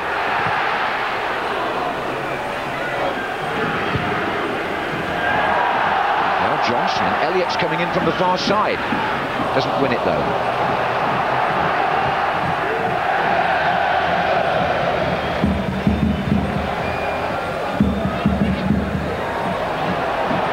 Davis. I think we can safely say, coming up to half-time, that this England system has not been a roaring success by any stretch of the imagination. The two highlight, well, I say highlights, the two moments that Sven-Göran Eriksson may dwell on David Beckham did hit the of crossbar and uh, post with a free kick, and Wayne Rooney then lost his temper, got booked, got suspended from the next game, and then had to be calmed down by colleagues. And as they walk off, Gerrard has gone to Rooney to have a few uh, consoling words. Ferdinand coming up alongside him. Rooney still looking furious. But for Northern Ireland and Lawrie Sanchez, who's just uh, checking on his watch there. He must feel pretty satisfied with his team's performance out there. They've done exactly what he asked them to do, and they've really not only contained England, they frustrated them. and nobody more so than this man. And as he goes off to what might be a bit of a wigging in the dressing room, or certainly uh, some close attention, uh, the half-time situation at Windsor Park, Belfast, in Group 6 of the World Cup qualifying competition in Europe is Northern Ireland nil, England nil. Yeah, frustrating uh, 45 minutes for Wayne Rooney and indeed um, England's players and uh, no doubt you watching at home as well. I think first word uh, mm. must be for the um, Northern Ireland side who've um, yeah, battled away. You said they get a battling draw and so far so good. Well, I mean, it's been a, a masterclass in passing from Beckham, no question. But what they have done is they've defended quite deep. The only real concern is, is, is Ian's lad, Shaun Wright I think that's the ball that can really hurt us. But what they have done, they've got about them, they've made some tackles, they've competed, they've really restricted England to maybe one or two anywhere clear chances, and, and you know, outside flashes from Wright Phillips and one or two little bits from Beckham, they haven't really caused a great deal of problems. So at the moment, game plan working very well. Yeah, and England's game plan of the old 4-5-1 not looking too comfortable for Well, them. as Ian says, Irish have defended really well, but as an attacking force have been non-existent, and that's allowed Beckham to give us a display of passing that you'll probably never see again. I mean, like on Saturday, he's got the ball in a string. Not only the passing to Shaun Wright-Phillips, but the range and the pace of the pass has been just unbelievable. Um, some people will, will criticise the system, but um, if you look at the performances of Lampard and Gerrard and, and, Rooney and Owen, the big English players just haven't played. And, yeah. you know, I don't think you can blame the system for that. Having said that, if you get two banks of four, we've seen time and time again, it's difficult to yep. get through them. But I think the biggest thing from an England perspective, the disappointing thing is Wayne Rooney. He, why play him wide in the left? We say time and time again, he's the best player in the world, just off the front man, getting that yard of space where it's very difficult to pick him up and then playing. And then you bring Lampard in, you bring Gerrard in, and then you get going. Problem with the system, I suppose, eh? Well, the thing is, like you say, Becks is doing brilliant in there, and that is the plus out of the system. But you got someone like Wayne Rooney, and um, he's out here on the left, and you can see, you know, the guy is completely frustrated. I don't think he's had any any kind of involvement in the game that he can say to himself, yeah, and build his confidence. And now he's been booked. The fans are getting on his back. His players are trying to calm him down. He's getting more and more frustrated. And now I think he's made a perfectly good. Um, challenge at the end there. He's got pulled up for another header, so he's really, he's really got to calm down. I know exactly what he's going. We love him, we love him to bits, but I don't, I don't feel sorry for him. System. No, no, Gary. I think why, why restrict him to that? Mm. He's, I mean, he's played ultra disciplined here. Let him go in behind the front two and play, and let Ashley Cole raid up. He does it brilliantly. So play a little bit lopsided. There's nothing wrong with that. Yeah. You've got to allow him to express himself. Not, also, not I, think has, I think it has to be said that he's a brilliant player and a massive talent, but you cannot condone his conduct. I mean, yeah. he's lost it. And he needs to learn. He's, he's got to learn. What about um, not not too many chances? Um, hardly any at all. One yes. goal to Michael Owen just before half time. Probably the best. Well, it was oh. it was the best chance. Um, and Steven Gerrard does really well. You know, Steve's been really quiet, but you know what I mean. He's, he's really made a driving run. He's knocked it over. He's made a driving run. He's got it into Michael. And what's happened is, is, is the touch is taking him up, but he's not got no power on that. He's not got no power on the actual overhead kick. So Brilliant play by Gerrard. This is what yeah, he does best. Really Driving into the box, yeah. get using his pace and the strength. touch takes it in the air. So he's got over a kick it, but he, he doesn't he didn't get hold really of it. get hold of it. Yeah, it's really unfortunate because it, it's the only thing he's done in the game, to be honest. Yeah. Mm. He hasn't made much service, but yeah. still got to work the line and get yourself involved yourself. But I don't think it's happening for Michael tonight. The David Beckham's free kick was a fantastic bit of technique as well, Ian. You know, when you, you talk about crossing, he sort of hits it with his heel. And I think both me and you, Gary, thought he was going miles over the bar. The dip Look at that. Oh. The dip it gets on, it's quite incredible, you know. And it's a masterclass in passing. I mean, Alan made the point. Look at it's miles you think it's going miles over. Look at the way it dips at the end. Really just drops like that, a stone. I think, I think, I think it, yeah, to be as close as it is, to get it to dip that quickly, yeah. the whip you have to get over that wall. I think he's really enjoying technique. himself. I think on Saturday he was brilliant. Tonight, as soon as he, the first five minutes he's picked up and he's played, and he's just really revelled in, in the position he's playing. Oh. They're talking about the fact that Becks is in there and should he be in there and his legs and all this stuff, people are having a go at him, but and will he be able to do that with better, with um, better, against better midfield players? We'll see. Neat and tidy there picks up. I mean, what about this for a pass? I mean, He's got unbelievable technical. Unbelievable pass. I mean, that's like frightening. It's how it cut, it's cut there. and it just drifts away. And of course, the way the flat back four works, the left back's got to tuck in, so it's perfect for, for Shaun Wright Phillips. Tackling, is it? This would probably be the disappointing, one disappointing aspect of his play. can't can't tackle. But um, again, this is just awesome, awesome. Lulls the defender into making a challenge. If Shaun That's Wright unlucky his there. touch was better, he was straight in. I thought his touch was pretty good there. He just ran away. Uh, you, would, you would think that. For, for how well he's passed, you know, and I, th- outside Shaun Wright Phillips, he hasn't had a lot of That's the targets pass. to hit. That's the pass. Pass to the That's the pass. He hasn't had a great deal of targets to hit. Outside Shaun, That's you know, it, he hasn't, there needs to be a bit more, I think Michael maybe needs to spin a few Just a And then he's working hard here. He gets back in that position just in front of the back four. Like Makelele there. yeah. The thing is, like you say, it is right. It, it, it, he's only got Shaun to hit long now. If Michael would do a couple more, then you can stretch him because I think the Irish defence, apart from over the, are very comfortable. They're quite comfortable because they've got nothing pa- coming on the left. Michael's not running them long, so No. You won't see passes like that. Well, that was the, that was definitely the positive of the uh, first half. The negative, of course, which is we don't say this very often, was Wayne Rooney's um, frustrating performance. For, for half an hour, he, he was top on the left-hand side, and I think you're wasting his talent. I really do. You know, stuck in the in the touch line, and then he seemed to get more and more frustrated. There he is wide the left again. well, he's getting the ball. There's no threat there. Well, he's getting the ball. He's got four people in his face straight away. You know, you want to get the ball to Wayne Rooney where he turns and runs at that last two, um, the last two defenders, and starts to make things happen. The Irish have played him well, though. Yeah, they have, absolutely. You know, I think uh, young Baird's played it. But I mean, I mean, I've made the point again, it's, it's almost like he's, he's hugging the touchline. And that's not Wayne Rooney. No. It's not Well, Wayne Rooney. And do you know the other thing is when Shaun stretches him deep, But, sh- but it's then he's dropping just him behind the obeying orders. Oh, I think so. Yeah, definitely. There's, I think it's almost a little bit, he's playing a little bit unnaturally for him. Because he, he loves to go and get the ball. You know, and I Now think, he's getting frustrated, and and it leads to this. As you can see, that is a frustrating challenge. Look, he's, he's completely gone at the moment. Even when a couple of the lads try to talk to him and he's pushing hands away, he's not. Well, if, if he has a weakness, this is it. Oh, you know what I mean? He's, he's frustrated. Remember, he's still a young guy. He's learning everything that happens to Wayne Rooney is in the public eye. The guy's frustrated. And I don't blame him. He's stuck out on the Can you, left. He can you relate to that a little bit? Well, you know, he's being a bit naughty there, and I think, now, of course I can. I know exactly what he's going through, but like, he just needs to play. He needs, he wants the ball. He wants to do something. I think Gillespie's done well for him as well. Gillespie's done This well. is where you like to see him. This is right. Look, this is it. Run the middle. See, look, He's got everything. he makes things Touch, happen vision, there. Awareness. And I, I tell you, I don't be surprised he come out in the second half and does something absolutely out of this world. He's more than capable. We shall soon find out. Now, also in World Cup action this evening was Scotland, who, despite their excellent performance against Italy on Saturday, still needed to avoid defeating Norway to keep their qualification hopes alive. Commentary from Paul Mitchell. Comes in Craig Gordon, didn't get there, but it's not going to count. The whistle clearly went.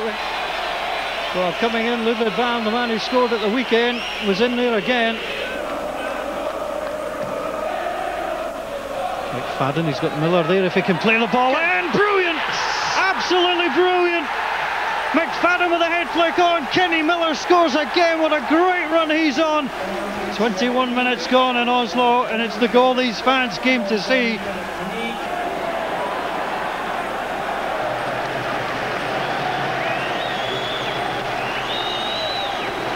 Fletcher away. Hartley goes for it again. Oh, what a backhander that was! Miller! What a mistake by Bertomo and Scotland are two ahead. And well, there was no doubt there was fortune about it, but what a finish.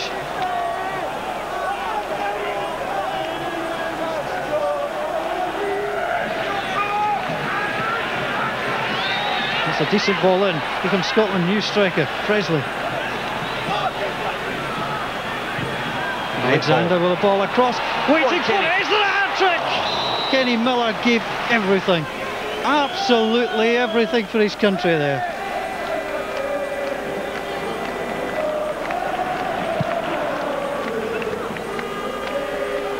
Carew gets the head flick on, real danger, great save. Carew then follows it up, wonderful save from Craig Gordon. Coming in there was Christian Grindheim looking for his first goal for Norway in his third international, and he was denied.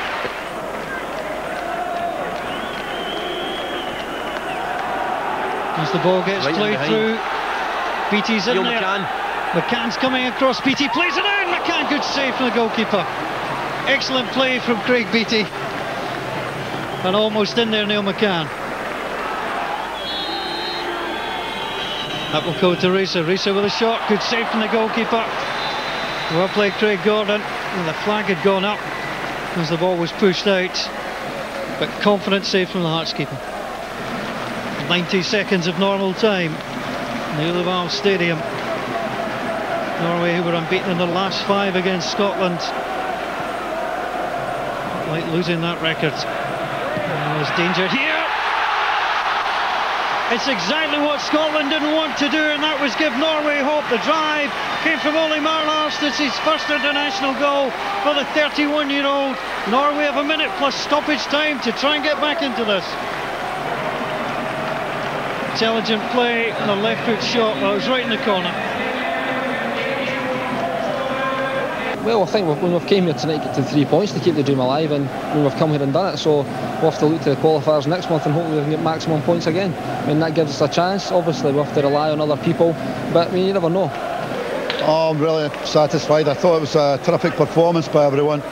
Norway are not an easy team to play against. They play a lot of balls into the box. They have a huge physical presence in the game. I felt we handled that uh, brilliantly throughout the match. And uh, I'm obviously delighted that we managed to get a win.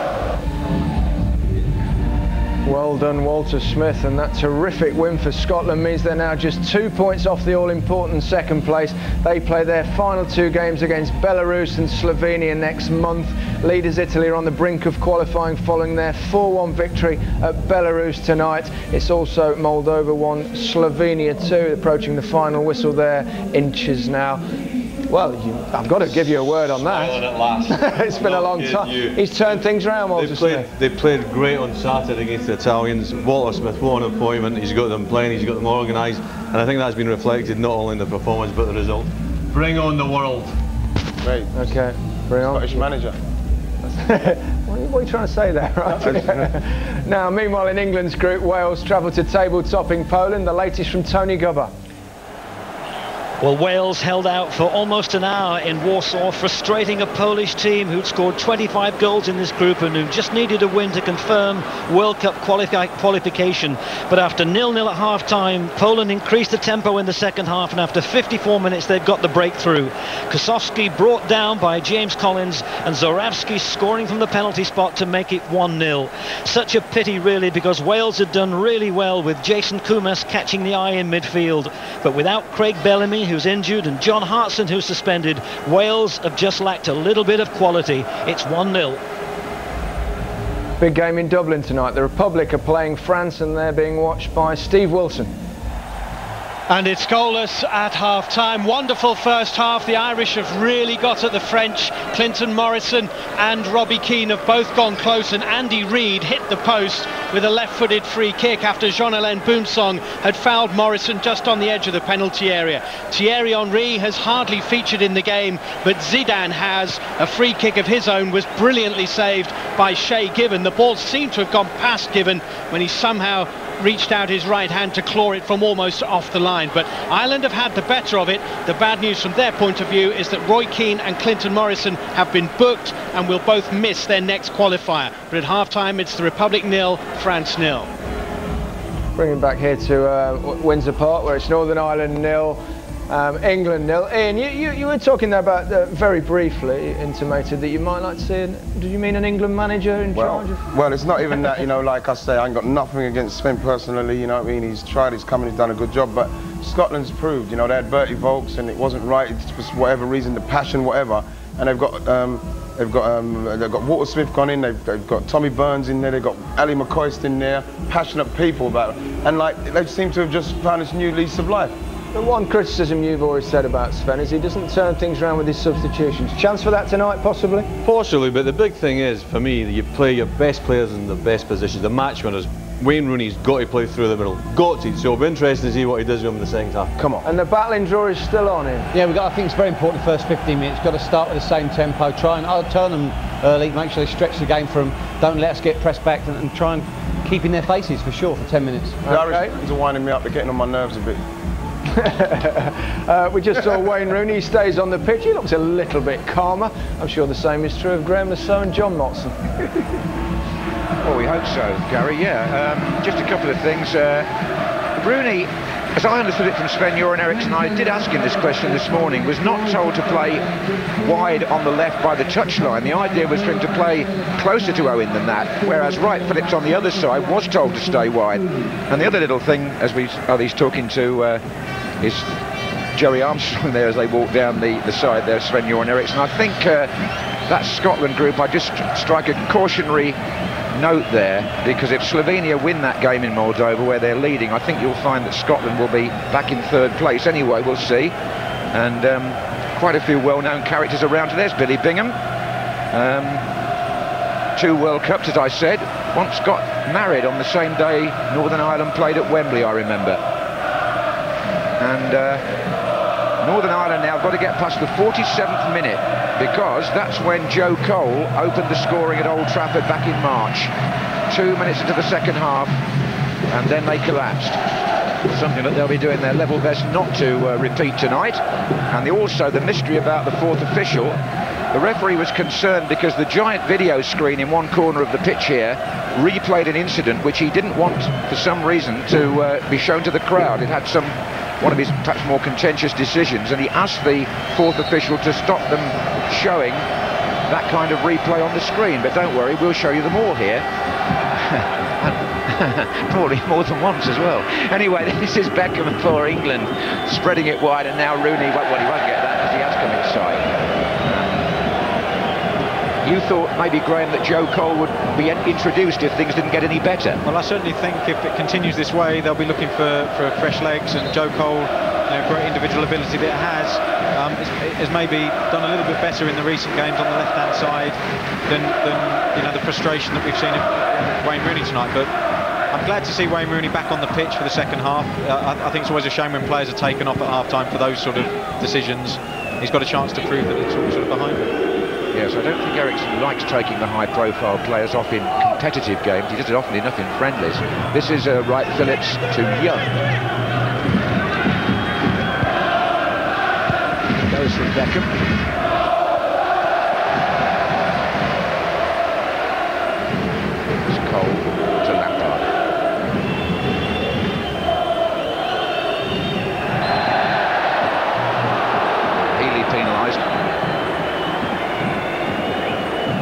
Alan Hansen made a great point at half-time about best players playing in their best positions and something I was trying to allude to during the game, the first half, that, that you know, the quality that we have on there, these players are at their absolute peak and we should be getting the best out of them by encouraging them to play and do what they're good at. This is one of them, Lampard.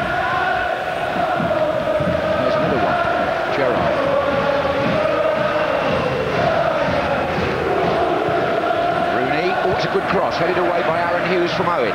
Good defending by the uh, Northern Ireland captain.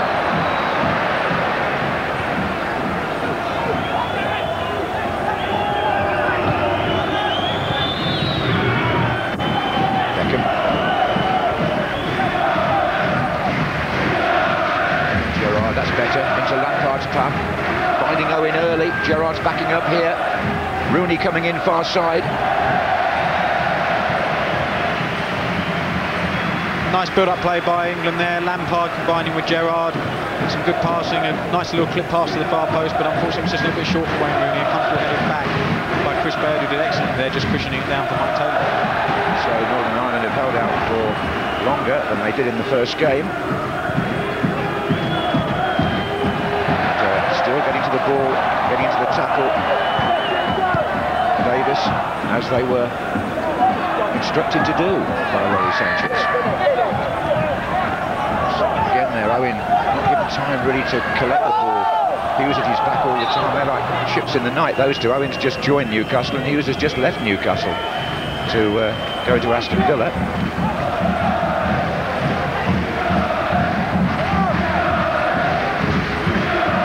really Owen playing an international with Newcastle United after his when he actually made his debut.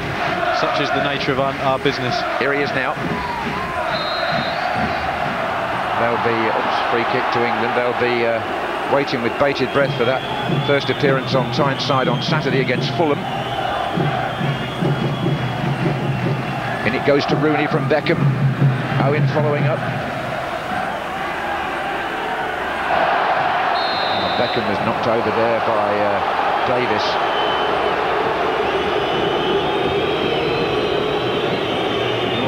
Concentration has to be 110% all the time.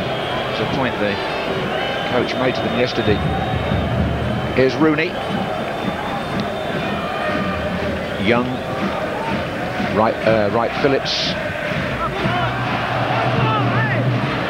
So Northern Ireland throw too.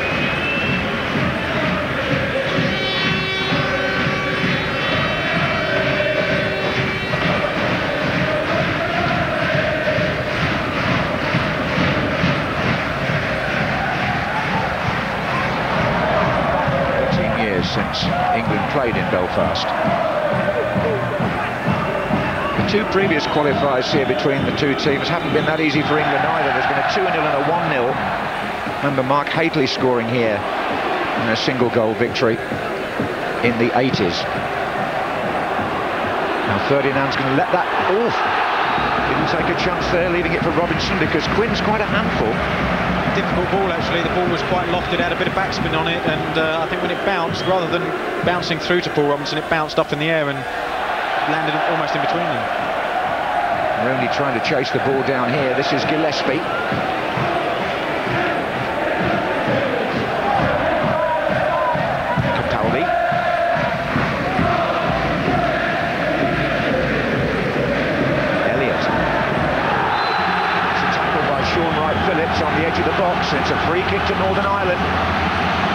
This could spell a bit of danger for England. They've got uh, Quinn, Elliott and and uh, the centre-back as well, Craigan, who are all handy in the air.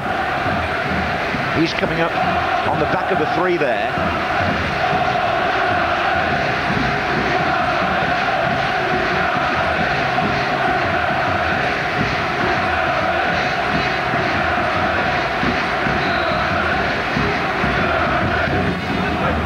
it's overhit and the chance is gone really.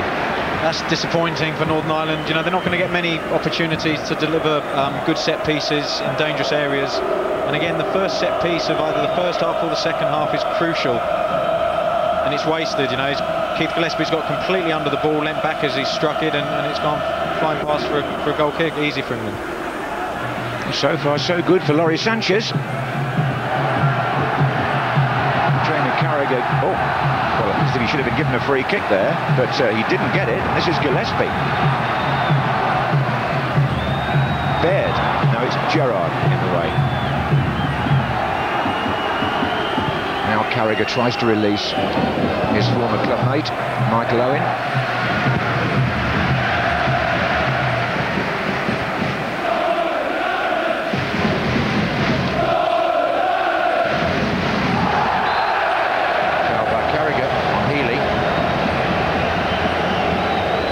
John, is that even if England go on to win this game and win it comfortably, I think people would be taking the opinion that they're not convinced by the way the team are playing, the way they're approaching the game, the way individuals are playing.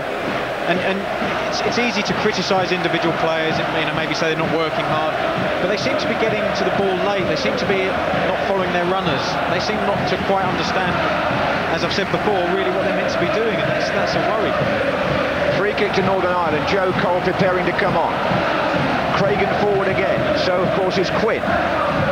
That is Quinn now. And headed back across, and Robinson under pressure from uh, there. It wasn't an easy ball, really. Stuart Elliott got right into the thick of it, underneath the crossbar with Robinson. A situation where the ball's bouncing around and, you know, goalkeeper's having to come out and, and, and really risk himself to, to, to, get the ball, it's um, it's hard to see. Well, yeah. It's a lottery, really. You never know quite what's going to happen. Now then, we did say that Eriksson wouldn't take off one of his high-profile players. I don't mean that Shaun Wright-Phillips isn't, because he will be one day, but he's the easy man to go off, really. And Joe Cole has come on. So, 16 Cole. Now, Graeme, explain to me how he fits into the system now. Well, Joe Cole obviously um, is going to play, I would think, slightly narrower than Shaun Wright-Phillips. He's not got the pace that, that Shaun Wright-Phillips has. He, he's maybe happier coming off the line a little bit more, so may, possibly trying to link up a little bit more with Michael Owen. And he is, of course, on his natural side on, on the right, is he not? Having played on the left, having to come inside when we've seen him before. He, he is, but I thought, you know, quite honestly, I thought he's done all right when he's played on the left. So, um, you know, again, it's a, it's another change, uh, another another position for Joe to play, another position for players around him to, to sort of try and work out what his qualities are, and get the ball from the right areas. Well, he scored the goal in Cardiff on Saturday with the help of a Gabbidon deflection, but it was Cole's goal, and he'll be dead keen to do that again here. He's on the ball now. But it's Davis of Northern Ireland who brings it away, he finds Healy. Quinn coming in from the far side, and Davis goes in on the near post. Robinson claims. They're certainly punching above their weight, Northern Ireland. They're giving a good account of themselves and, and looking dangerous in going forward now. Don't want to tempt fate, but there is an air of authority about the England goalkeeper, isn't there, Paul Robinson? He's growing in the job. Certainly he's confident, you can see that just in the way he expresses himself, the way he comes to collect balls, the way he kicks the ball as well, which is very important. And that's that's crucial for a goalkeeper. Here's Cole, Joe Cole. Owen waiting in the centre. Gerrard is there too, he's got it, back to Rooney. Two Northern Ireland defenders shutting down Rooney's shot. This is Beckham. Joe Cole.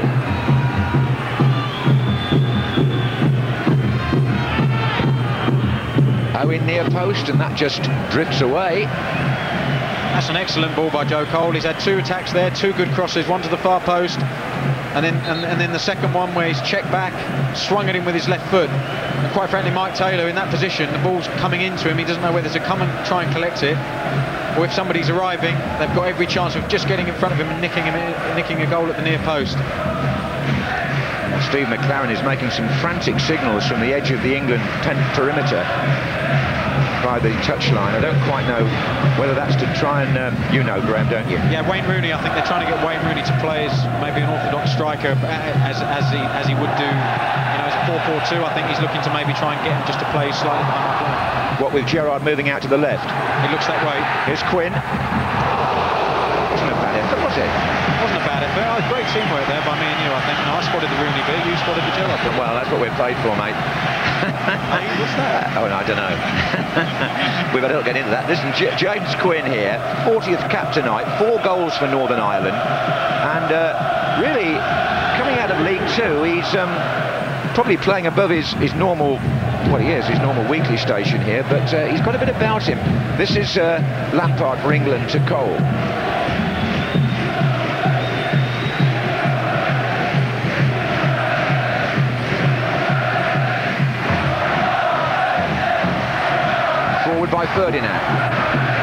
In behind Capaldi here. There's the flag up. Got too far. Yeah, he just makes his run. It's a good run. S slightly mistimed, but I mean, you, you know, you've got to give him the benefit of the doubt because it's a it's a very well-timed run and just just fractionally offside. Yeah, Rooney's definitely playing more central now. There's no question about that. Although Gerrard hasn't really gone left. In fact, at the moment, there isn't a, a left-sided player at all. Would say there hasn't been for years, John. But that was, uh, yeah, it occurs to me. But uh, actually, Cole will have to slot into that when he gets, as he is now, when he gets the chance to come forward. This is Beckham. Joe Cole.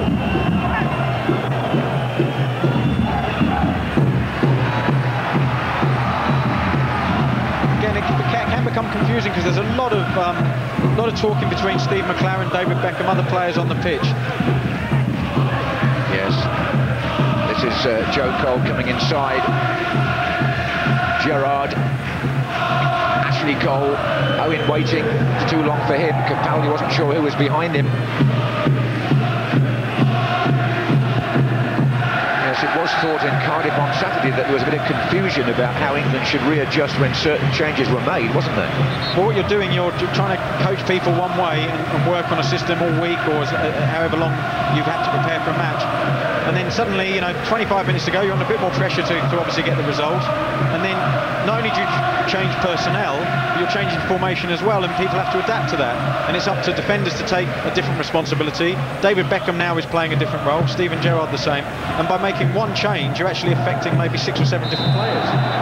We couldn't lip read there, but clearly there's something still going on between Eriksson and McClaren as to what's supposed to be happening out there. This is uh, a free kick to England. Beckham, whose role hasn't changed in the reshuffle.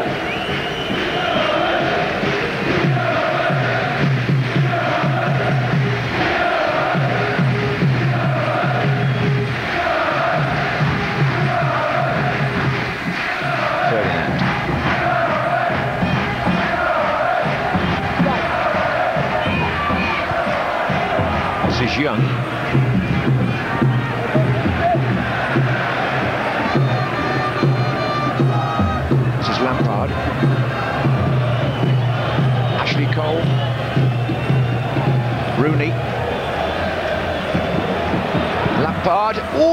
There's on that. It's a goal kick, though. Beckham thought it was a corner. In fact, he's certain it is. But the referee's not. Yeah, it was a corner. It, the, the way the ball sort of flew past the post, you could just see that it was just bending away. Obviously, caught a deflection as he hit it. Good turn by Frank. Again, this is the first time he's been in this sort of position. That's a dangerous position for him. Lots of time on the edge of the box. I think it's just caught somebody as it's gone past, or Maik Taylor's maybe got a hand to it. I tell you what, I think this is a good save. See, it's, this is here. I think he, that's a brilliant save by Maik Taylor. Eh? Fantastic save. You did need to see it a couple of times, but there's no question it was his fingertips that turned the ball round. It should have been a corner, but uh, let's hope he gets a bit of credit for that, because it was a really good piece of goalkeeping. He's an excellent goalkeeper, actually. He's he's worked hard, really hard. Um, he's he's in incredibly good shape, and he, he's very athletic for a goalkeeper, and, and has always impressed me in the Premiership. I saw a lot of him at Barnet, actually, Graeme, when Ray Clemence was manager there and signed him. Of course, he went on from there to bigger things. Birmingham City now, previously Fulham. This is Lampard.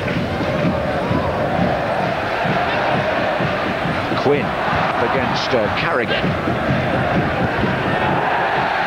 Well, an hour gone. Northern Ireland still holding England at bay. Is Mr. Clemence, happily recovered from his recent illness and back in the England fold. I think I'm right in saying it's Ray's 100th match with England as the goalkeeping coach tonight. Another Centurion, to add to what we were saying earlier. Here's Cole.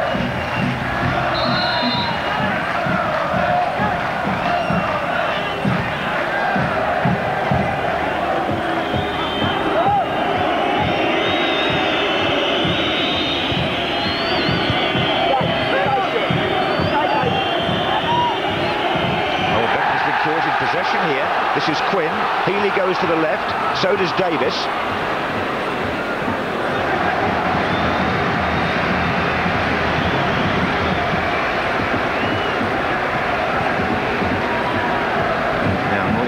Thrown. I want to ask you a question about Beckham in a minute, but we'll, we'll stay with this because uh, Ireland always look to get something out of these uh, set plays. Quinn and Elliott lining up on the six-yard area.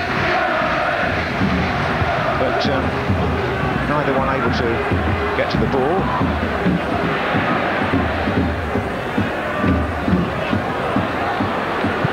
Davis with Young now. I mean, he and Darry quite rightly made the point that the Beckham passing was a masterclass, but has he been in a position to play what you call the absolute killer ball? That's exactly it, John. I think you know you can't discredit him for his qualities, but he's got to be effective. We said that in the first half. He has to be effective in what he does, and that's creating chances. Here's Quinn. Gillespie on the far side.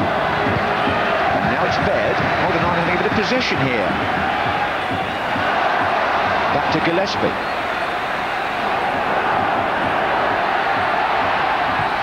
Turned in. So carry on with what you were saying. Sorry about Beckham. No, I just think that that you know anybody they've got qualities. David Beckham's made a name for himself with his fantastic deliveries, and he has to he has to be able to provide from a deeper position those same sort of killer passes. That's that's what he needs to be able to do.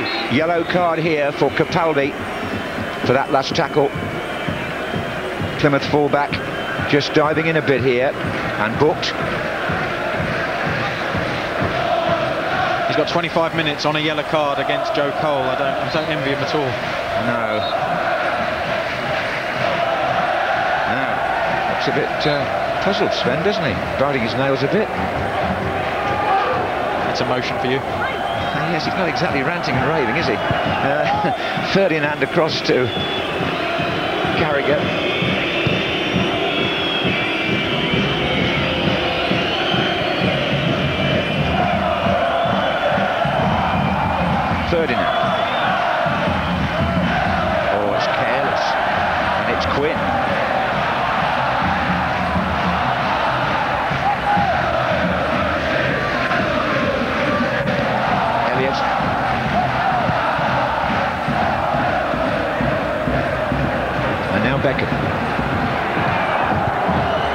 Looking for Joe Cole. That's a nicely delivered ball as well. In the middle of Rooney and Owen. Lampard's joining them now. And Cole does get the ball in, and Taylor comes out and picks it off Owen's head. Once again, you've got two relatively short centre forwards there. Wonderful play by Joe Cole, great in-swinging ball, but with Michael Owen by himself, more or less, Wayne Rooney arriving, has to be inch perfect. Well, Quinn's uh, pulling Ferdinand's shirt all over the place there. And he knows it too. He won't be too bothered about that. Giving a free kick away down there will, will relieve the uh, Northern Irish defence and get them a little bit of uh, respite. Here's Lampard.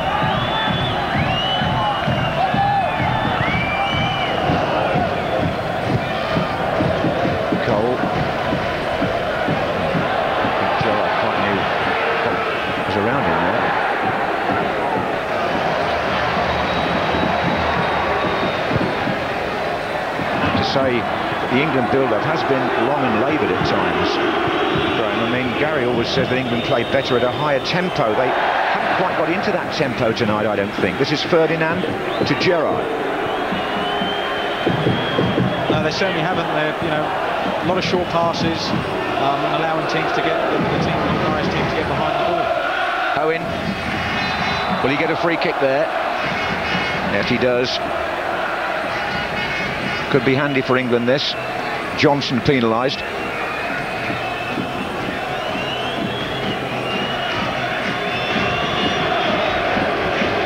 Ferdinand is coming forward. Beckham will take it. Carragher's in there as well.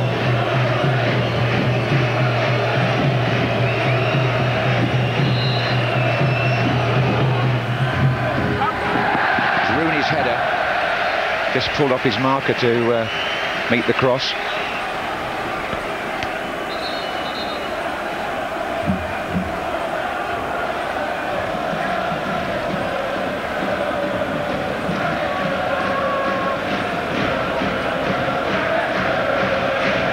We're approaching the halfway point in the second half. Would you envisage another substitution? Well, quite possibly. I mean, uh, in, in a sense, you'd sort of you could ask the question why, you know, maybe with Joe, Joe Cole coming on, why not put him on the on the left-hand side, bring Beckham to the right, and play Lampard and Gerrard on, in the middle, as Eriksson has lined them up before, and they seem to be a bit more comfortable doing that.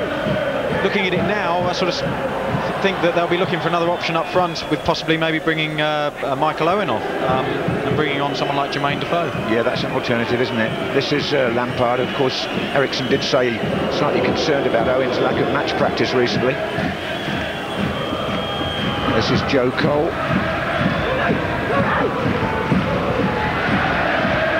Rooney and Owen again looking a little frustrated that that ball didn't come in earlier. This is Beckham.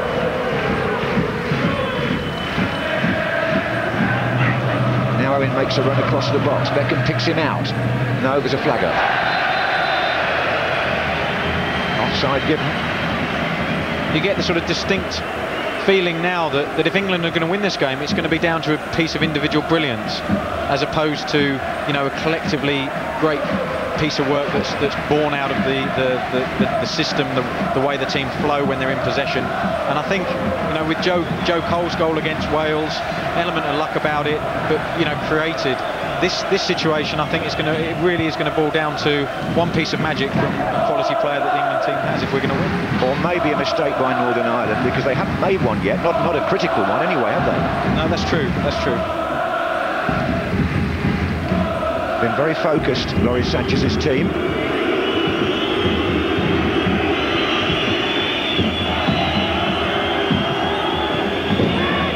This is Gerrard. Now, Ashley Cole, well forward. But uh, unable to reach that.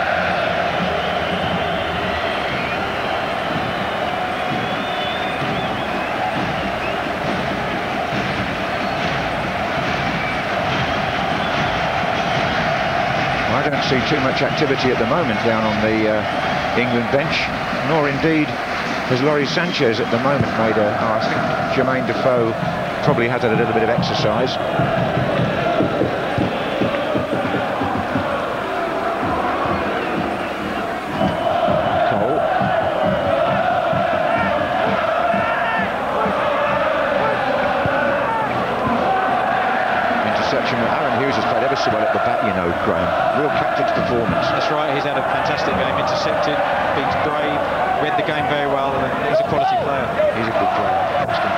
The uh, benefit of that, no doubt, this season. Look where Frank Lampard is there. He's virtually playing on the edge of his own penalty area. That's right, and then if England do break forward, he's in no position to help.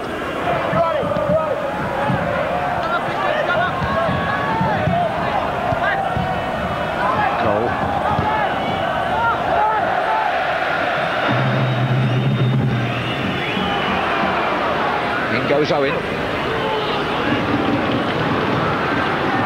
Oh, he's done well there. But Hughes has so oh, that's a free kick. Assistant referee flags against Hughes. So opportunity again here for England from the set piece. Beckham takes it early. Rooney's waiting.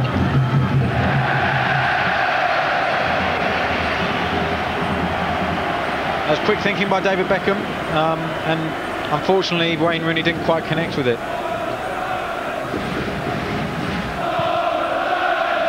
The Irish supporters were hoping for a real buoyant performance from their team tonight. They've seen a resilient one, that's for sure.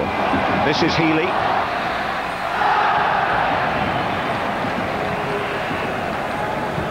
Northern Ireland still have Wales to come here on October the 8th, the same day England play Austria. You can see both those matches with us.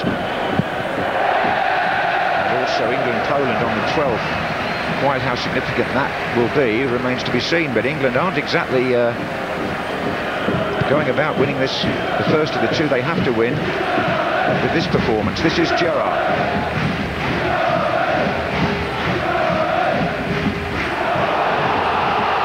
Poland are 1-0 up still against Wales. Here's Gillespie for Ireland. Healy out wide. Oh, oh, I thought it was going to be an own goal has managed to get to the ball. He's injured in the process, by the way. Collided with Quinn. But that was a nasty moment for England. David Healy pulled wide, and the cross is clearly deflected here by an England player, and Robinson had to be smart. Yeah, he took a, a kick in the head for uh, for his bravery there, Paul Robinson. Um, very dangerous play. Healy gets in a good position. As we're talking about, you get any decent player getting behind a defence can cause them problem if they make the right selection. That's a lovely ball across the the face of England's goal. Slight deflection from Jamie Carragher, but if that's if that's slightly further back, uh, Quinn has got every opportunity of scoring a goal. Well, it was uh, perhaps one of the better moments for Northern Ireland, or nearly could have been. This is Beckham's pass, but it's right onto the head of Craigan. Poland leading Wales still, as I said, and would then, well, they're two points clear of England at the start of play. These results remain the same. They go four points clear. This is Beckham. Young. And Luke Young forces the corner. Another good uh, piece of defending by Aaron Hughes there, read the situation, saw that Capaldi was in trouble, and Luke, Run, uh, Luke, Luke Young has had a decent, um, a decent performance today again. He has. Now then. Ferdinand with his armour. Pierre Carragher's in there too. Maik Taylor just comes out. Look easy. That's comfortable for Maik Taylor. They like that sort of thing. It, it makes them look good. Here's Quinn up against Ashley Cole.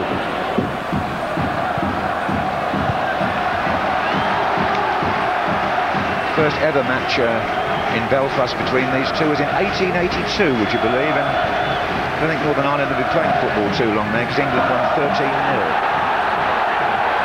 Tonight they can't get one. Here's Davis. Oh, he's on the side. Healy for Northern Ireland. Real chance. And he scored. Oh, what a moment for Northern Ireland. David Healy scores their first goal against England for 25 years. Lawrie Sanchez's team in the lead. And Belfast and Windsor Park has gone crazy. Let's look at these scenes. And England are embarrassed. Healy, the all-time top scorer. Looking for an offside? Well, there wasn't. Well, it looked it from there, but the linesman didn't flag, and Healy belted that with his right foot away from Paul Robinson. And Northern Ireland won, England nil. Did you ever believe that was possible? I certainly didn't. That's a fantastic little pass by Davis. Great first touch by Healy. And talk about calm, collected finish. What power there. Fantastic finish. And quite frankly, Northern Ireland deserve um, you know, the goal, given given the way they've played in the last 20 minutes. Terry Cochrane, the last man to do that in 1980 at Wembley, to score for Northern Ireland against England. But this goal could be so much more significant. And David Healy, the lead striker, it's his 19th international goal in his 46th match. It's a great output when you think how Northern Ireland are often on the defensive. Now, was he offside, Graeme Le Saux? I don't think he was. Rio Ferdinand the last man, and he's static. And then David Healy, what a finish that is. Paul Robinson got a hand to it, but what a great finish into the far corner. No, they've, got, they've yeah. got so much time on the ball. No wonder this ground is jubilant. We're about 10 minutes away if things stay like this from Northern Ireland's first win over England in Belfast since 1927. Here's Lampard.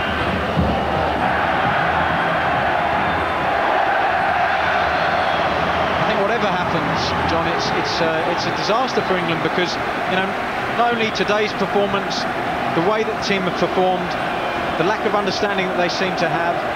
We also look back at the Denmark game a couple a few weeks ago, and you know that's England's worst goal deficit for some time and it's it's it's a frustrating time for everyone involved in Well, I, tell you what, the press weren't kind to Eriksson after the win in Wales. Goodness knows what they're going to say here if this isn't changed. Jermain Defoe to come on in place of Steven Gerrard. England are desperate. And the, everything about Steven Gerrard's body language then coming off sums up England's performance. You know, head down, you know, yeah, well, here's, listen, England have got to go and try and get a goal, and in doing so, they may leave gaps. That was uh, Damien Johnson. Now the goal scorer, Healy. Elliott's made a long run down the centre. Northern Ireland, well, they're living some sort of dream at the moment. They certainly are, but they've, they've, they've deserved, you know, the, the, the quality of finishing, They've just got behind England on a previous occasion. That's the second time they've gotten behind them. And as I said, what a fantastic finish by David Healy. That's composure, and that, that shows his quality. He needs to get in those positions. But on the other hand, by contrast, England have immense quality, but don't get their players at the moment in those positions to, to, to have goal, goal scoring opportunities. I'll just come on to the Wales game in a minute, Graeme, when we've got this free kick taken. Um, Quinn, I mean, England just, it would be horrendous surely for them to concede a second. I think Chris Baird may have got a yellow card there for delaying taking that, Graeme. That's why I was anxious to get rid of that first. Wales, by the way, are, have lost in uh, Warsaw by one goal to nil. Now, Poland here could go five points clear of England in this group. Defoe on the other end of this, maybe. Owen running on. Free kick to England. Ferdinand was standing absolutely still when uh, Healy ran through to score the goal, obviously looking for an offside flag. Here's Ashley Cole. Owen. Lampard. This is Young to Cole. Poor, you know, really poor. That's disappointing for Joe Cole there. He did well to get into the position, but disappointing with the cross and, and obviously, you know, lets Northern Ireland off the hook again. I'm just trying to work out, we seem to have so many players of a similar kind in forward positions. It's actually confusing just watching the game. You've got Jermain Defoe, Michael Owen, Wayne Rooney, all playing up front. All similar sorts of players, all rely, rely on the same sort of possession. And, and uh, and quite frankly, you're limiting your options by having those three players all, all on the pitch at the same time, I would suggest. Well, here's going to be a Northern Ireland substitution. Lawrie Sanchez is going to send on Warren Feeney, who scored from a penalty against Azerbaijan on Saturday. Warren Feeney, whose father and grandfather both played for Northern Ireland, third generation international, comes on to replace James Quinn. Feeney plays for Luton Town. Well, those are the jubilant Irish fans. The England fans at the other end have been chanting, what a load of rubbish. And I have to also report, some of them shouted, sack the Swede. there they are. Well, I'm afraid it will be, unless uh, England salvage something in this uh, last 12 minutes or so. It's Gillespie on the ball for Northern Ireland. I've seen a bit of Feeney Luton actually this season, Graeme. He, he's a lively customer, and he'll bring fresh legs up there after Quinn had done an awful lot of donkey work, the man who's gone off. The, th the thing is, they've got the bit between their teeth, the Northern Irish. The fans are really urging them on. You know, they, they, conceivably, they could go on and get another goal. It's a corner to Northern Ireland. Up goes Craigan. Well, this would be a moment of modern football history.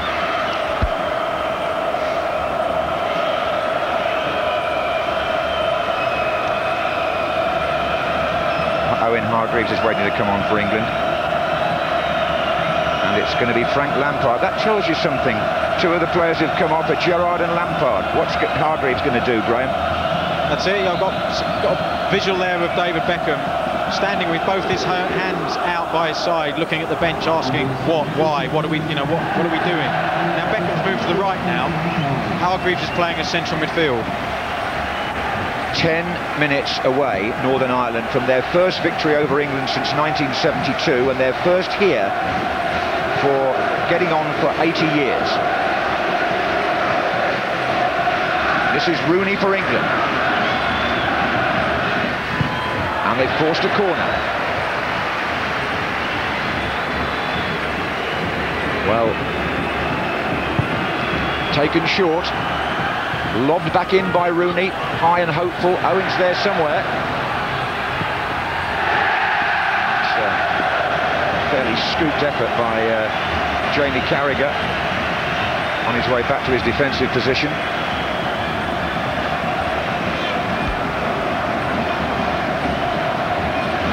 Have a score from Dublin, Lansdowne Road, Republic of Ireland nil, France 1.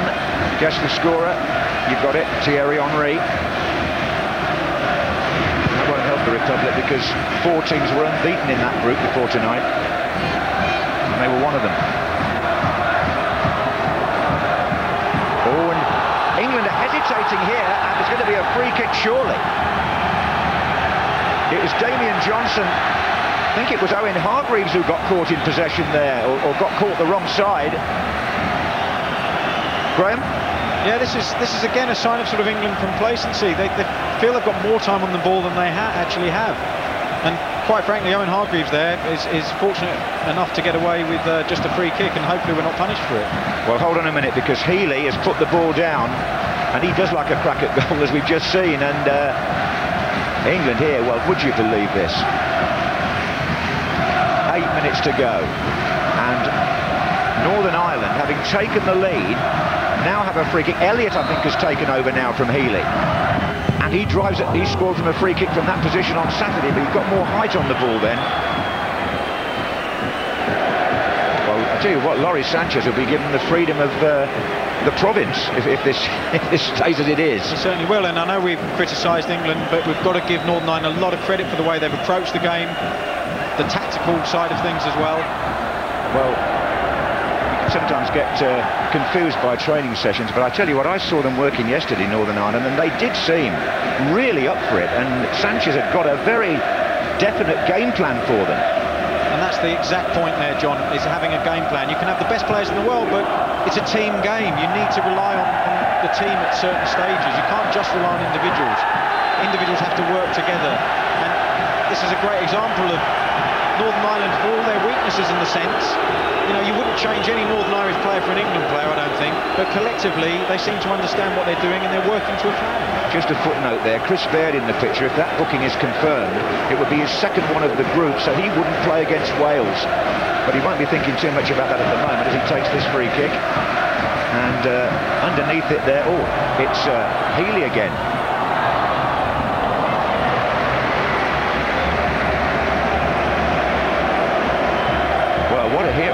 Hero he's going to make himself. Didn't start too well for David Healy, this group. He uh, got sent off in Wales for a bit of over-celebration by a fussy referee. This is Joe Cole.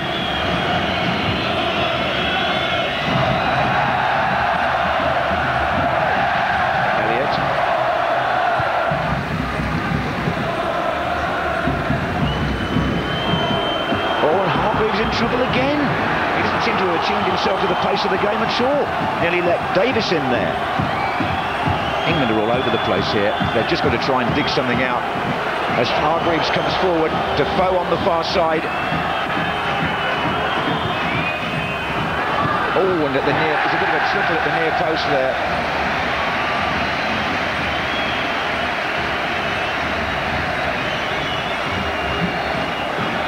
I'm, close to being speechless. What do you think?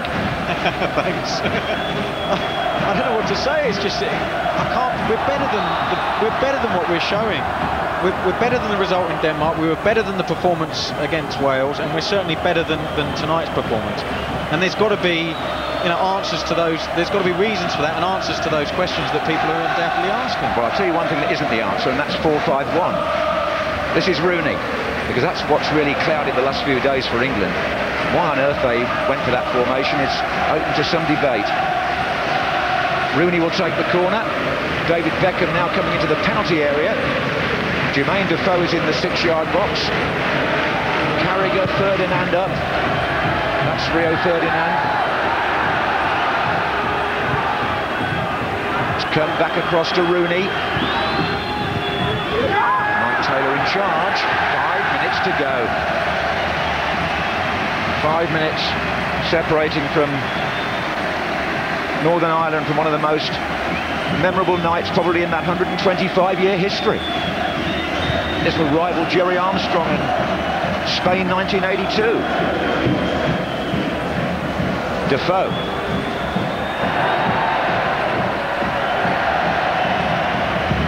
I was there that night in Valencia and uh, they've talked about it for, well, 23 years. To talk about here. Gillespie. Offside this time, Healy.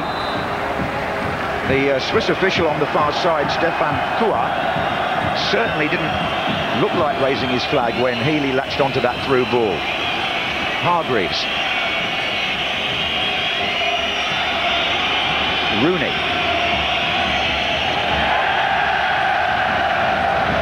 Well, Lawrie Sanchez, Graeme, at the centre of one of the great shocks of all time. Scorer of the Wimbledon goal that beat Liverpool in the uh, cup final. and look here, as a manager, he's going to do something similar. Unless England can just scramble something, because that's all it would be now. This is Stephen Davis of Aston Villa on the ball. Healy to the right. Oh, what was uh, Ashley Cole doing there? There's the cross. Oh, and Robinson had to be quick. Actually, he didn't touch it. It went just over the bar, but Ashley Cole would have had to take responsibility there for letting Healy in. He certainly would have. He, he tried just to flick the ball and missed it. And that's audacious from Healy. He's seen Paul Robinson off his line and he's gone for that. Paul Robinson always had it covered, but he's gone for a cheeky little chip. Well, England are coming forward again here to try to save the game. This is Rooney. Michael Owen. Rooney again.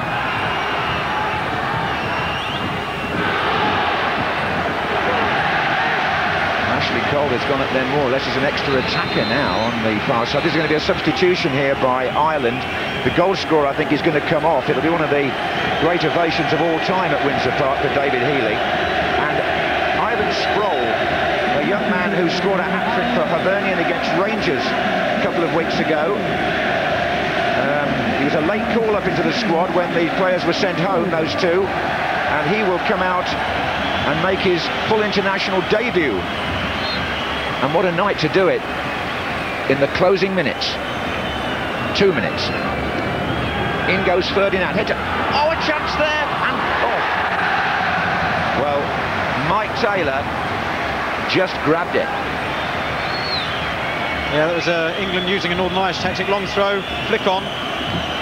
Michael Owen, I think he hesitated slightly because, in all honesty, he's putting his head somewhere where he's not quite sure where the goalkeeper is. And I think just evaded him. And uh, a fortunate stop from Maik Taylor. Where Taylor got a hand to it, didn't he? That was a chance for Owen. Will England get another one, I wonder? The 89th minute at Windsor Park. The place is going crazy all around us with Irish supporters in full voice. Fancy going to a party tonight? There'll be a few. There certainly will be. We won't have to buy a drink, John, will we? I don't think. well, I don't think so, but then is any different? Yeah. No, no, I'm sorry. um, that wasn't kind. No, but anybody that knows me... No, you, no, you, no, you, you did buy the lunch today, I have to be fair about that. Uh, one minute. If the, table, if the score stays like this, Poland would have 24 points and England 19. There's Rooney. Would be five points difference.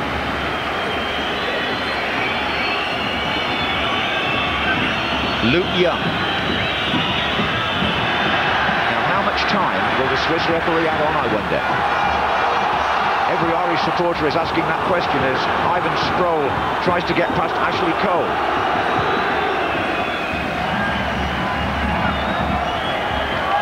Owen against Craigan. Rooney now latches onto it. Gillespie trying to get back at him.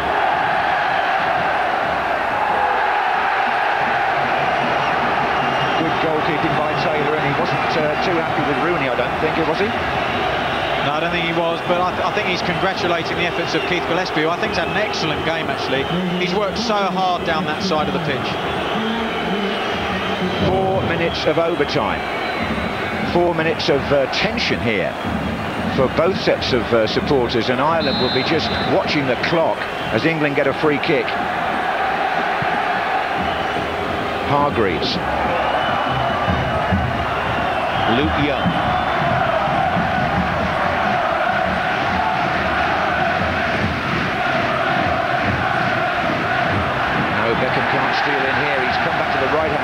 These last few minutes, but made no real impression there. Well, nobody's made an impression for England, really, in this game. Nobody at all. Sven-Göran Eriksson's record of never having lost a qualifier is right in the balance here. And that's something really that, that, you know, he's received a lot of criticism for friendly matches and the way he's changed substitutions, but he always had that, that record to fall back on. It's, it's an excellent record, but I think with the current climate, I think it's going to make, um, you know, it's going to make his life a bit uncomfortable, you know, until we play the next uh, next international. Well, that, yes, we've just got to be sensible and say if England were to win the two home games, then they would still qualify. We, we you know, it's not quite uh, curtains or anything, but there will be people asking whether the coach has lost the plot here. This is Rooney. It's gone underneath Young. Northern Ireland are trying to um, slow things down by making changes. Uh, Michael Duff, who's uh, a Burnley centre-back, is going to get a taste of the action. And I think it's going to be Stuart Elliott who leads the pitch.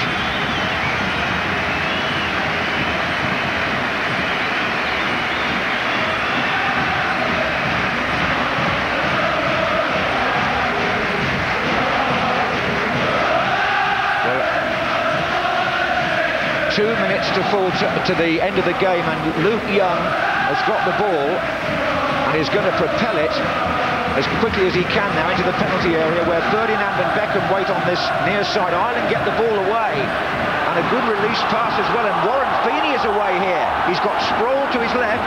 Feeney's going to go himself, is he? Oh, he's a bit greedy there. He had a man just waiting for the pass, Feeney. And they've given England possession when they didn't have to, Northern Ireland whistles all round the ground at Windsor Park. Beckham. Now this is Rooney, he'll have a shot from here. That's, that's a big ask to try and score from there. It's a fantastic strike. We know what he's capable of, Wayne Rooney. But again, I think that's born out of frustration and desperation, really. Um, and unfortunately, that sort of sums up England's performance on an individual level. We're into the last minute of the allotted stoppage time. Northern Ireland 1, England nil.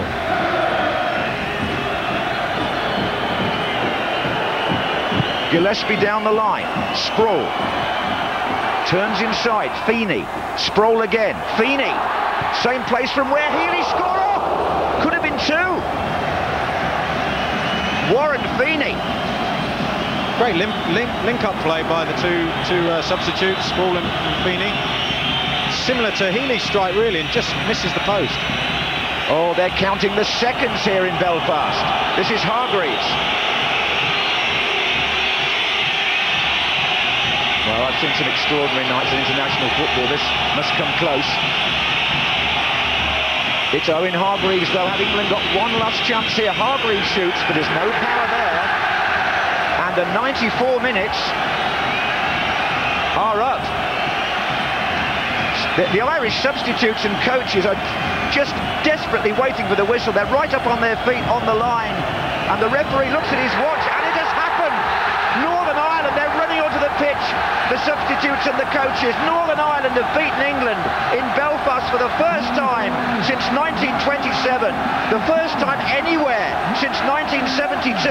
They've scored their first goal against them for 25 years, and it happened in the 74th minute, and it came from David Healy and Sven-Göran Eriksson might well look ashen-faced. He is going to come in for a barrage of criticism, and so are his team. That was a limp, lifeless England performance, Graeme Le Saux, I have to say. It was. It was uh, uh, desperate in the end at times, and, and these players, our players, are unrecognisable over recent sort of internationals, and there's got to be questions asked why that is. Players need motivating, they need direction, they need all of those things to, to provide them with the confidence and belief in each other when they go on the pitch.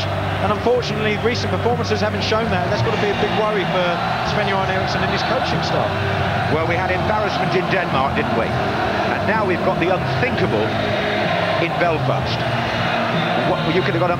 I tell you what, the guy in the corridor downstairs who guards the dressing rooms got 14 to 1 against Northern Ireland winning this game. That's how bigger outsiders they were.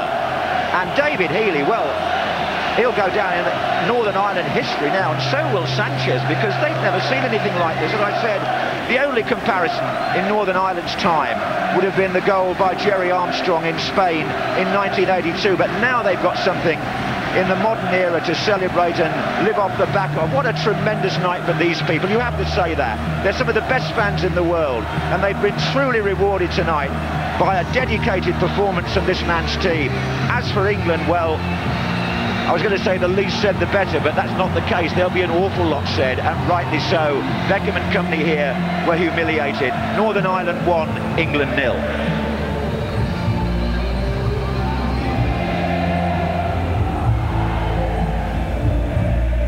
Congratulations to Northern Ireland, fantastic achievement to them. Um, we'll come to England very shortly, I suppose we must.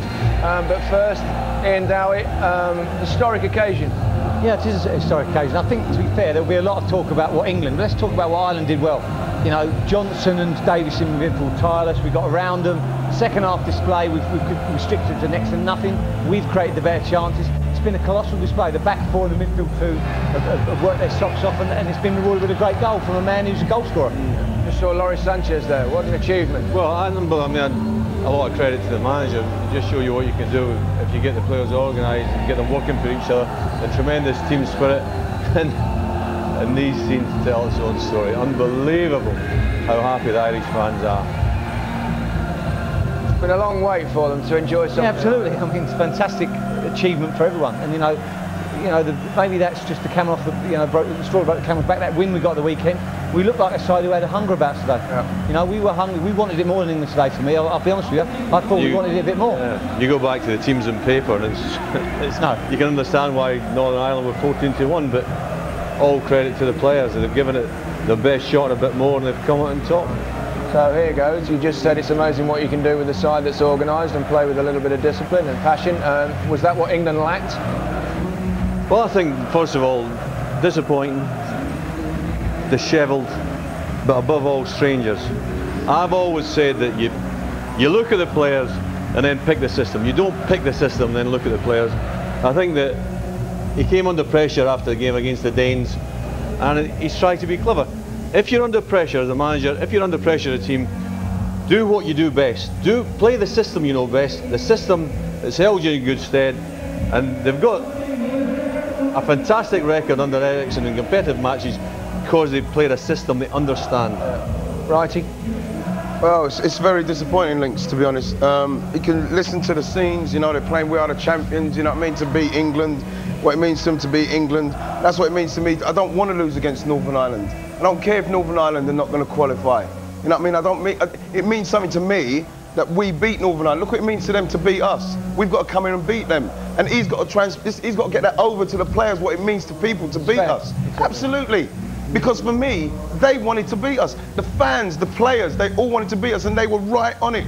And we've got to make sure that's in the dressing room. He's got to let them know what's going to happen when they come out here. To be fair, I mean, Ian won't say it.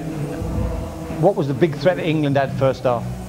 Shaun was getting behind them. England did not get behind Northern Ireland in the second half because that now Shaun Wright-Phillips was going to go past, but he's going to create something. We never went past anyone. So I don't. I, I, thought he was a threat first half, and you know everyone makes decisions, but I don't understand why he was taken off is, uh, it, well, I'll tell you what, we'll come back to that in just a second, because I just wanted to remind you of how um, things lie in Group 6 now and what the significance of that result actually means. Uh, um, England are now five points behind the leaders Poland, who beat Wales tonight. But, but remember, England will still definitely qualify if they beat Austria and Poland next month, albeit probably um, through the best second place teams.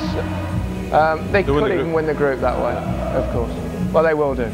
But so all is not lost. We, that's the first no, no. thing to say. I mean, I think I think it's the performance tonight that was embarrassing. And and as I say, you, you start the game and it's totally disjointed, disheveled. You're playing like strangers.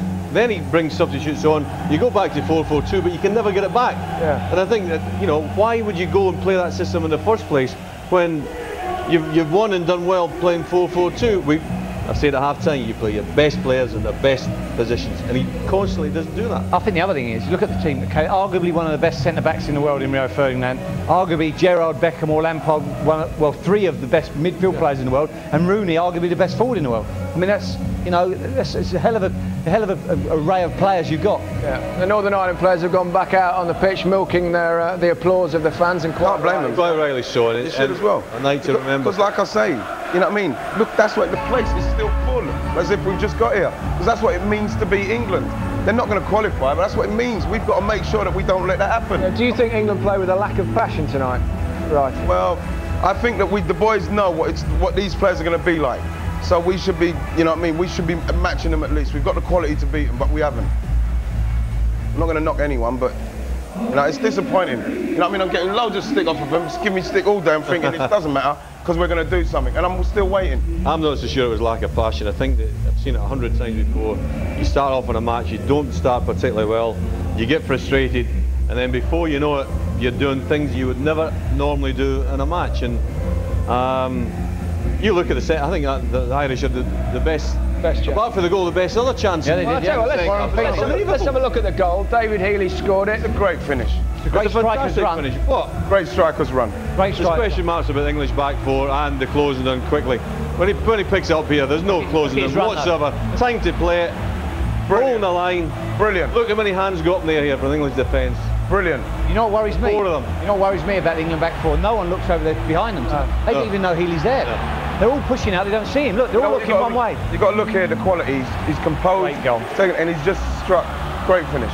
Natural finisher. Great finish. Great. I'm delighted for him. But I think you're right, Alan. There's too much time on the ball Dude, to play that ball. Tons of time on the ball. In that area of the pitch. That's fantastic, yeah, that is. And uh, somebody got excited at that goal. Yeah.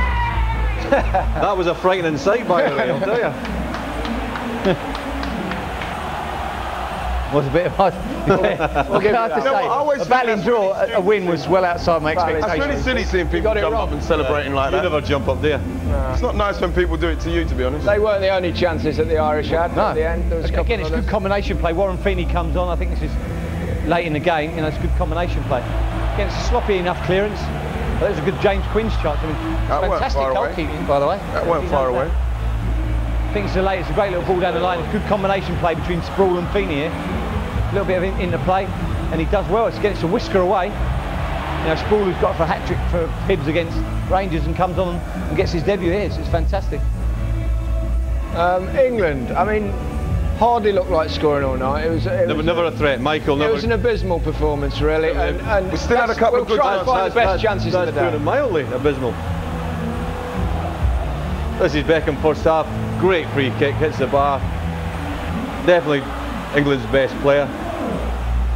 This is, I think, the one time that Steven Gerrard did what he, he does great, getting driving in the box, good ball into own. Just didn't Doesn't quite connect. hold of it. Didn't quite connect. Silly thing is, up. Tell you what, it's it- right at the end, Michael Owen had a good, this is a great save. We didn't get a corner out of this. This is a great save. Yeah, That is a great save. Yeah, it is. And here's Michael. If you look, Michael has a great opportunity. He's anticipated it well. Hasn't got nothing on the header. I think it just shows you how well the Irish played. Ian was saying about oh, the boy. glittering array of talent England have got. and Beckham, Gerrard, Lampard, Rooney, Owen. And that's the best they can do. So, there's something wrong somewhere. There's something, the fundamentals are wrong. In, in which case, I'll ask you this question. It's the first qualifier that Sven has lost in a competitive qualifier. We'll come back to that because we've got the England captain waiting. David Beckham's with Garth Crooks. David, England have been embarrassed tonight. What's been said in the dressing room? Um, I think some strong words have been said by the manager, Steve McClaren, um, and you know the lads, the lads have taken it, of course, because tonight has been a bit embarrassment for the lads. But um, you know we stick together. This is what this team's all about. We've always done that. You know, even when we've been criticised, we stick together. Of course, tonight hurts more than any night probably, but um, you know, as I said, we stick together. That's what that's all we can do and put it right. If we win the next two games, we go top of the group. That's all we have to do. Yes, qualification is still in your hands, but let's talk about the formation for a second. The formation seems that it suits you, but it doesn't suit others. No, uh, if that's the case, then uh, ob- obviously the manager will have to look at that and change that. You know, I've always said, and managers always said, you know, this formation is not just for me solely. You know, the formation is what the manager believes in. Um, you know, it's not about me as a player. It's not about me performing well and the others not, because at the end of the day, the team has to perform well. And we didn't perform well again tonight. One of the frustrations was shown by Wayne Rooney. Even you were trying to calm him down. Is Wayne in danger of the frustration boiling over and him becoming a loose cannon? No, I think that, um, of course, Wayne was frustrated tonight and he showed that. And uh, that's what happens in games like this. If things are not going well, the frustration shows. And Wayne's a young player. But, you know, Wayne, Wayne will handle that in his own way. He's at a club, he's got a manager that can control that. Um, and he has to do that. But, you know, together now, as a team, we have to stick together. We're going to get the criticism, of course, each player will. But at the end of the day, you know, we stick together. What's so alarming about this, David? Two weeks ago, people were talking about us winning the World Cup. Now we're struggling to qualify. Yeah, that is the case, but um, you know that's what that's what happens. You know, it's not the players that are talking about us. Um, you know, winning uh, winning the World Cup. You know, people are saying that, and of course, rightly so, because we have got a great team. But you know, we have to play a lot, lot better than we did tonight, and we know that as a team. We know that as players. You know, there's a lot of disappointed players in there. Every one of us is disappointed, but you know what? We stick together, and now we have One last forward. question I must ask you, David. Today, for the first time, I heard the England fans calling for the manager's head. Is that something we should be worried about? It's always worrying when um, when you hear that. Of course, uh, this leading up to a, um, a World Cup, you know, two games uh, to go in the qualifying games, but you know that's that's what it's like. You know, then people have paid a lot of money to come and watch us play tonight. You know, I've said that every time we get we get fans travelling, and we we. Um, you know, we, we love the way the fans are, but you know they're frustrated, and you know it's hard for for the manager to say, it's hard for the players to take, but we, we accept it. Thanks for talking to us. Honest words from David Beckham. And before we come to that, let me just tell you that the Republic of Ireland have lost tonight, 1-0 against France. Thierry Henry uh, with that goal, so it's looking difficult for them to qualify now. Um, uh, we were talking just before that about that. There's clearly going to be a lot of talk about Sven's position. Um, it's the first qualifiers loss. Should his position be under threat? Well, the book I mean, clearly it will be if they don't qualify. The always stops with the manager, but four years ago, eight years ago, 12 years ago, we say that England's downfall is they haven't got enough world-class players. No, they have. Yeah. They've got them. Absolutely. Right? They've got them. They've got enough cla- world-class players to cruise through this qualification and go to Germany next year and be a real threat. Now, you've got to then say, I've said before about the fundamentals, there's something wrong somewhere. So it's up to the manager to look at what's happening and say, right, we've got these world cl- cl- class players. Obviously, it's not happening for us at the minute. Why? Exactly. I mean, th- th- they say about Sven, he doesn't seem to take part much in the training. He, he- he's clearly not, by his own admission, not a motivator. And we've got examples of that tonight, where Steve McClaren seems Well, to be if the a stranger was coming in and looked at this game, they'd think that's the, Eng- that's the England manager there. You'd look. Do you know what I mean? He, who's he? Look, look, the fella behind behind Steve McClaren. What? He could be the England manager. He's got the same jacket on as him.